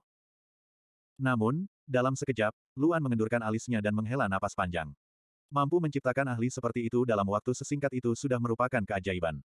Secara umum, sangat berbahaya bagi seseorang yang belum pernah berkultivasi sebelumnya untuk menerima warisan. Kemungkinan besar tubuh fisik mereka akan meledak karena kekuatan mereka. Ketika Suanger menerima warisan, banyak orang bergiliran melindunginya, dan itu memakan waktu 10 hari penuh. Dari awal penerimaan Xiao Rou hingga sekarang, hanya setengah cangkir waktu minum teh. Itu sudah cukup untuk melihat betapa kuatnya Elf Crown. Bagaimana perasaanmu? Luan bertanya pada Xiao Rou. Saya merasa, tubuh saya penuh dengan kekuatan. Xiao Rou merasakan dirinya sendiri dan berkata dengan serius, ada banyak sekali perasaan aneh. Perasaan aneh. Setelah mereka bertiga saling memandang, Luan berkata lagi, jangan khawatir. Ceritakan satu per satu. Saya merasa bisa merasakan banyak hal. Xiao Rou menarik napas ringan dan berkata kepada Luan dengan tenang, bunga, rumput, pepohonan, dan tanaman di sekitar laut di sekitarnya, aku bisa merasakan semuanya dengan jelas. Juga, aku merasa bisa mengubahnya. Ubah mereka. Luan tercengang. Matanya dipenuhi keraguan ketika dia bertanya, bagaimana kamu mengubahnya? Anda dapat mencoba. Xiao Rou mengangguk sedikit dan mengangkat tangannya ke pohon besar di kejauhan. Seketika, lampu hijau memancar dari jari rampingnya dan langsung menghantam pohon besar itu. Lalu, pohon besar itu bergerak. Di bawah tatapan kaget Luan dan kedua gadis itu, pohon besar itu bergetar hebat seolah-olah hidup. Seluruh tubuhnya berubah dan ia benar-benar mengeluarkan suara gemuruh. Bentuk kandang pohon besar berubah total. Dua tangan terpisah dari batang pohon dan menopang dirinya di tanah. Ia langsung mencabut dirinya sendiri dan berdiri di tanah. Tumbuhan tipe hidup. Dalam sekejap, Luan memikirkan jenis tumbuhan kehidupan yang pernah dia lihat sebelumnya. Hampir sama dengan ini. Pohon besar yang telah memperoleh kehidupan meraung dengan ganas, tetapi pohon itu segera menjadi tenang dan melihat ke arah kelompok Luan di kejauhan. Luan dan dua lainnya sedikit terkejut. Namun, meskipun kekuatan pohon besar ini tidak rendah, sebanding dengan guru surgawi tingkat enam, itu bukanlah ancaman bagi mereka. Pohon besar itu berjalan dari kejauhan dan berhenti di depan mereka berempat. Wajah mirip manusia muncul di belalainya dan mengeluarkan suara khusus pada Xiao Rou. Hanya ras elf yang memiliki kemampuan untuk berkomunikasi dengan tumbuhan tipe kehidupan. Luan dan dua lainnya tidak bisa mengerti, tapi Xiao Rou bisa mendengarnya dengan jelas. Apa isinya? Luan bertanya dengan rasa ingin tahu. Membalas Tuan Muda, Xiao Rou memandang Luan, membungkuk dan berkata, itu adalah sumpah setia kepadaku. Hati Luan bergetar lagi saat mendengar ini. Dia menarik napas dalam-dalam dan bertanya, apa yang terjadi? Setiap tanaman yang Anda berikan kehidupan akan setia kepada Anda. Xiao Rou tidak yakin. Xiao Rou berkata, tetapi aku memiliki perasaan ini dalam kesadaranku. Segala sesuatu yang aku ciptakan akan selalu setia kepadaku. Luan menarik napas dalam-dalam ketika mendengar ini, lalu dia menoleh ke arah pohon itu dengan kaget. Jika itu masalahnya, maka itu terlalu kuat. Saat ini, pohon besar itu mengeluarkan suara aneh pada Xiao Rou. Setelah Xiao Rou mengangguk lembut, pohon besar itu segera bangkit dari tanah dan melompat tinggi ke langit. Ia benar-benar melompat langsung ke laut yang jauh dan lari ke permukaan laut. Apakah ada yang salah? Luan bertanya dengan ragu. Dikatakan ingin bebas. Xiao Rou berkata, ia ingin melihat dunia luar. Luan terkejut dan menoleh untuk melihat punggung pohon besar yang semakin mengecil di laut. Meski sedikit emosional, tapi tetap oke. Luan tidak ingin memiliki tanaman jenis kehidupan di Pulau Abadi. Apalagi yang kamu rasakan? Luan bertanya. Membalas Tuan Muda, saya merasa masih banyak kekuatan di mahkota elf. Xiao Rou menjawab, hanya saja aku tidak bisa mendapatkannya dalam waktu singkat. Aku hanya bisa membiarkannya masuk ke tubuhku secara perlahan. Jika saya ingin menerima semua kekuatan di Elf Crown, saya khawatir itu akan memakan waktu lama. Ini mirip dengan ekspektasi Luan. Luan bertanya lagi, apakah ada hal lain? Iya. Xiao Rou menjawab dan berkata, saya merasa mahkota elf memiliki kekuatan khusus lainnya. Saya tidak dapat menyerap kekuatan ini, tetapi saya dapat menggunakannya. Luan terkejut dan memandang kedua gadis itu. Fuyu pernah memberitahu mereka bahwa mahkota elf bukan hanya wadah warisan, tetapi juga simbol status. Itu juga merupakan senjata yang ampuh. Elf Crown berbeda dari senjata lainnya. Itu adalah kombinasi senjata dan perlengkapan pertahanan. Pada saat yang sama, ia memiliki kekuatan serangan dan pertahanan yang kuat. Itu adalah barang langka. Nilai mahkota elf jauh lebih kuat daripada senjata para Master Sekte. Bahkan bisa dibandingkan dengan beberapa senjata klan Hachiko. Ada satu hal lagi. Xiao Rou memandang Luan dan berkata, aku bisa menghilangkan mahkota elf. Setelah menghilang, ia hanya dapat mempertahankan kemampuan warisan dan kemampuan perlindungannya. Ia akan kehilangan banyak kekuatan khusus. 1540. Setelah Xiao Rou menjelaskan, Luan dan kedua gadis itu segera mengerti. Lagi pula, mahkota elf terlalu mencolok dan mencolok mata. Cara terbaik adalah menyimpannya. Biasanya, saat berhadapan dengan musuh biasa, kemampuan Elfen Crown tidak akan digunakan. Hanya ketika menghadapi musuh yang kuat barulah perlu menggunakan Elfen Crown untuk mendapatkan kemampuan yang lebih kuat. Setelah penjelasan Xiao Rou, mahkota elf di kepalanya perlahan-lahan kabur dan akhirnya menghilang tanpa jejak. Xiao Rou bahkan mengangkat tangannya untuk menyentuh bagian atas kepalanya. Memang benar, tidak ada apa-apa di sana. Semuanya sudah beres, dan Luan akhirnya bisa santai. Meskipun pertarungan memperebutkan mahkota elf sangat berbahaya, dia juga mendapatkan hadiah yang sesuai dengan bahayanya. Kekuatan Xiao Rou saat ini akan sangat membantunya, belum lagi dia pasti akan menjadi lebih kuat di masa depan. Kamu menerima mahkota elf. Sekarang, kamu adalah Raja Elf. Luan berkata dengan serius, namun, aku tidak bisa membiarkanmu pergi ke perlombaan elf untuk saat ini. Kamu harus bergabung dengan Ichevire Union dan bekerja untukku terlebih dahulu. Ya, Xiao Rou membungkuk dan berkata, sesuai perintahmu. Luan mengangguk sedikit, membuka susunan teleportasi, dan berkata, ayo pergi ke Union. Tanda pisah tanda pisah tanda pisah. Tanda pisah tanda pisah tanda pisah. Empat Laut Selatan, Pulau Ichevire. Ichevire Union mulai terbentuk. Meskipun masih ada kesenjangan besar antara mereka dan aliansi besar, setidaknya itu sebanding dengan persatuan aliansi mana pun. Semuanya dilakukan dengan tertib di bawah manajemen Liu Yi, dan sangat efisien. Ketika persatuan pertama kali didirikan, banyak penganut Tao yang bergabung meragukan posisi Liu Yi sebagai wakil ketua persatuan. Liu Yi menggunakan kepemimpinannya untuk menjinakkan semua orang.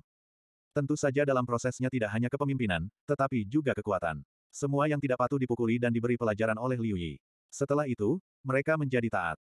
Sekarang, seluruh Ichevire Union sangat mengagumi Liu Yi. Beauty Yang dan Yao juga sering datang ke Union untuk membantu. Mereka yang tidak bisa ditangani Liu Yi dijinakkan oleh mereka berdua, dan mereka sepenuhnya menyerah kepada kedua wanita ini. Dapat dikatakan bahwa setiap anggota klan Lu dihormati oleh semua penganut Tao. Satu-satunya rumor yang muncul adalah bahwa mereka tidak puas dengan Union Master yang belum pernah mereka lihat sebelumnya. Benar sekali, Luan jarang datang ke sini. Dia benar-benar seorang penjaga toko yang tidak kompeten. Ketika array teleportasi muncul di Pulau Api Es, Luan dan ketiga gadis itu menuju ke ruang konferensi. Banyak orang bahkan tidak mengenali Luan dan menjadi bingung. Segera, mereka berempat memasuki ruang pertemuan. Liu Yi yang sedang mengadakan pertemuan dengan bawahannya sangat senang saat melihat Luan muncul di depan pintu. Namun, Luan tidak mengganggunya. Dia memberi isyarat kepada Liu Yi untuk melanjutkan pertemuan sementara dia memimpin ketiga wanita itu ke ruang samping aula pertemuan. Dari ruang samping, mereka masih bisa melihat Liu Yi mengadakan pertemuan untuk semua orang, tapi dari kamar Liu Yi, mereka tidak bisa melihat sisi ini. Mereka berempat memandang Liu Yi. Liu Yi yang sedang mengadakan pertemuan dengan bawahannya benar-benar berbeda dengan Liu Yi yang biasanya berada di depan Luan. Seolah-olah mereka adalah dua orang yang berbeda. Pada saat ini, Liu Yi yang hadir dalam pertemuan tersebut sangat agung. Setiap kata yang dia ucapkan, baik benar atau salah, sudah cukup untuk meyakinkan bawahannya. Ini adalah perwujudan kepemimpinan yang kuat. Tentu saja, semua keputusan Liu Yi benar. Liu Yi memancarkan kepercayaan diri dan aura kepemimpinan. Seolah-olah dia adalah pemimpin alami yang bisa mengendalikan segalanya. Namun, ketika Yao dan si cantik yang memikirkan penampilan Liu Yi yang genit dan sembrono di depan Luan, jika bawahan ini melihatnya, mereka pasti akan tercengang. Karena kedatangan Luan, Liu Yi segera mengakhiri pertemuan. Dia segera berlari ke ruang samping dan berpura-pura melemparkan dirinya ke pelukan Luan. Luan terkejut. Meskipun dia memiliki hubungan yang sangat dekat dengan Liu Yi, dan sepertinya dia belum pernah memeluknya sebelumnya, sekarang kedua istrinya hadir, dia tidak tahu harus berbuat apa. Namun, Liu Yi tidak menyerangnya. Sebaliknya, dia berhenti di depannya dan menggoda, kenapa ketua aliansi yang hebat punya waktu untuk datang ke konferensi aliansi? Apakah Anda punya perintah? Saudari Yi, berhentilah main-main. Luan tersenyum pahit dan berkata, mari kita mulai bisnis. Liu Yi tentu saja tidak akan terus-menerus bermain-main. Dia berbalik untuk melihat wanita lain di ruang samping.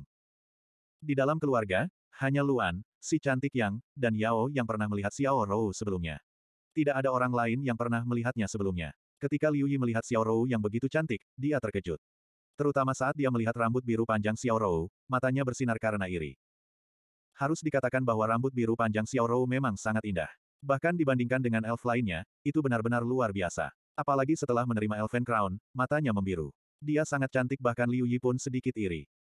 Tentu saja, kondisi Liu Yi sendiri tidak buruk. Xiao Rou tidak bisa memberikan tekanan padanya seperti kecantikan Yang dan Yao. Tanpa Luan berkata apa-apa, Liu Yi tahu siapa pihak lainnya. Dia berinisiatif untuk berjalan di depan Xiao Rou dan berkata, kamu Nona Xiao Rou, kan? Atau haruskah aku memanggilmu, Raja Elf sekarang? Meskipun Xiao Rou belum pernah melihat Liu Yi sebelumnya, dia tidak bodoh. Dia bisa mengetahui hubungan antara Liu Yi dan Luan dari keintiman keduanya. Dia segera membungkuk dan berkata, Xiao Rou menyapa Nona. Melihat Xiao Rou membungkuk padanya, bahkan Liu Yi pun tertegun sejenak. Gadis ini agak terlalu penurut. Tindakan Xiao Rou membuat Liu Yi sedikit bingung. Luan berjalan ke sisi Liu Yi dan bercerita tentang pengalaman Xiao Rou di suku Elf. Liu Yi juga berpikir bahwa Xiao Rou akan sangat senang bisa kembali ke suku Elf. Ketika dia mendengar tentang pengalaman Xiao Rou, dia langsung mengerutkan kening dan merasa sangat tertekan. Jangan khawatir, kakak perempuan akan melindungimu di Ice Fire Alliance. Liu Yi mengangkat tangannya dan menepuk bahu Xiao Rou. Dia berkata dengan serius, jika ada yang berani menindasmu di masa depan, kakak perempuan akan membawa orang untuk membalaskan dendammu. Mendengar perkataan Liu Yi, Xiao Rou tersenyum bahagia dan berkata, terima kasih, kakak. Adik Yi, aku akan meninggalkan Xiao Rou dalam perawatanmu di masa depan, kata Luan pada Liu Yi. Jangan khawatir, tidak masalah. Liu Yi berkata sambil menepuk dadanya yang menjulang tinggi. Luan memandang Xiao Rou dan berkata, saat aku menjadi guru surgawi tingkat delapan, aku akan pergi bersamamu untuk mengatur kembali suku elf dan membantumu menjadi Raja Elf yang sebenarnya. Ya, Tuan Muda. Xiao Rou membungkuk dan berkata. Jangan tunduk padaku di masa depan. Luan berkata dengan serius. Selain si cantik yang, dia benar-benar tidak terbiasa dengan siapa pun yang memperlakukannya seperti ini. Kamu dan aku adalah teman, bukan tuan dan pelayan. Aku sangat berharap kamu bisa memahami hal ini. Saya harap lain kali saya datang menemui Anda, Anda akan berubah. Xiao Rou terkejut. Dia berpikir bahwa setiap orang di dunia ini menyukai orang lain yang tunduk kepada mereka. Dia tidak menyangka Luan begitu menjijikkan. Namun, dia segera mengangguk dan berkata, Xiao Rou mengerti. Luan tahu bahwa mengubah kebiasaan Xiao Rou tidak bisa dilakukan dalam satu atau dua hari. Dia perlu membangun kepercayaan dirinya secara bertahap. Liu Yi pergi bersama Xiao Rou dan menyerahkannya kepada Yang Mu, yang juga berada di Persatuan Api Es, untuk menjaganya.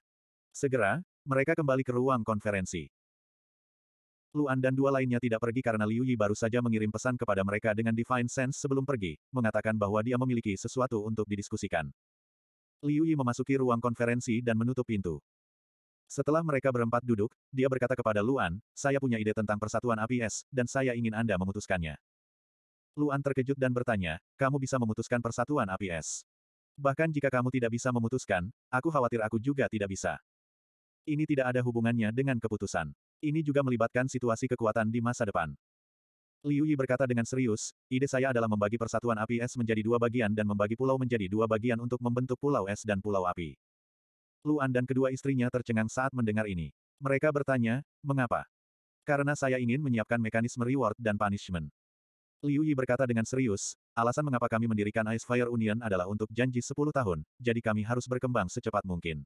Dan cara tercepat untuk melihat hasilnya adalah mekanisme reward dan punishment.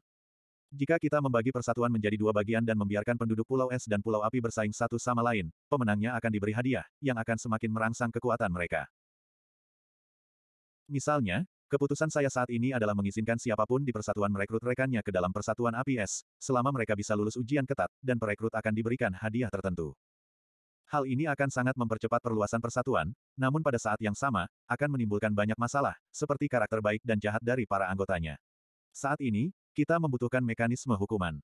Jika orang yang direkrut tidak menaati perintah dan melakukan kejahatan, maka perekrut yang merekrutnya juga akan dihukum. Demikianlah, Pulau Es dan Pulau Api akan memiliki misi yang berbeda. Siapa pun yang menyelesaikan misi lebih banyak dan kualitas misinya juga akan menerima hadiah yang berbeda, Del.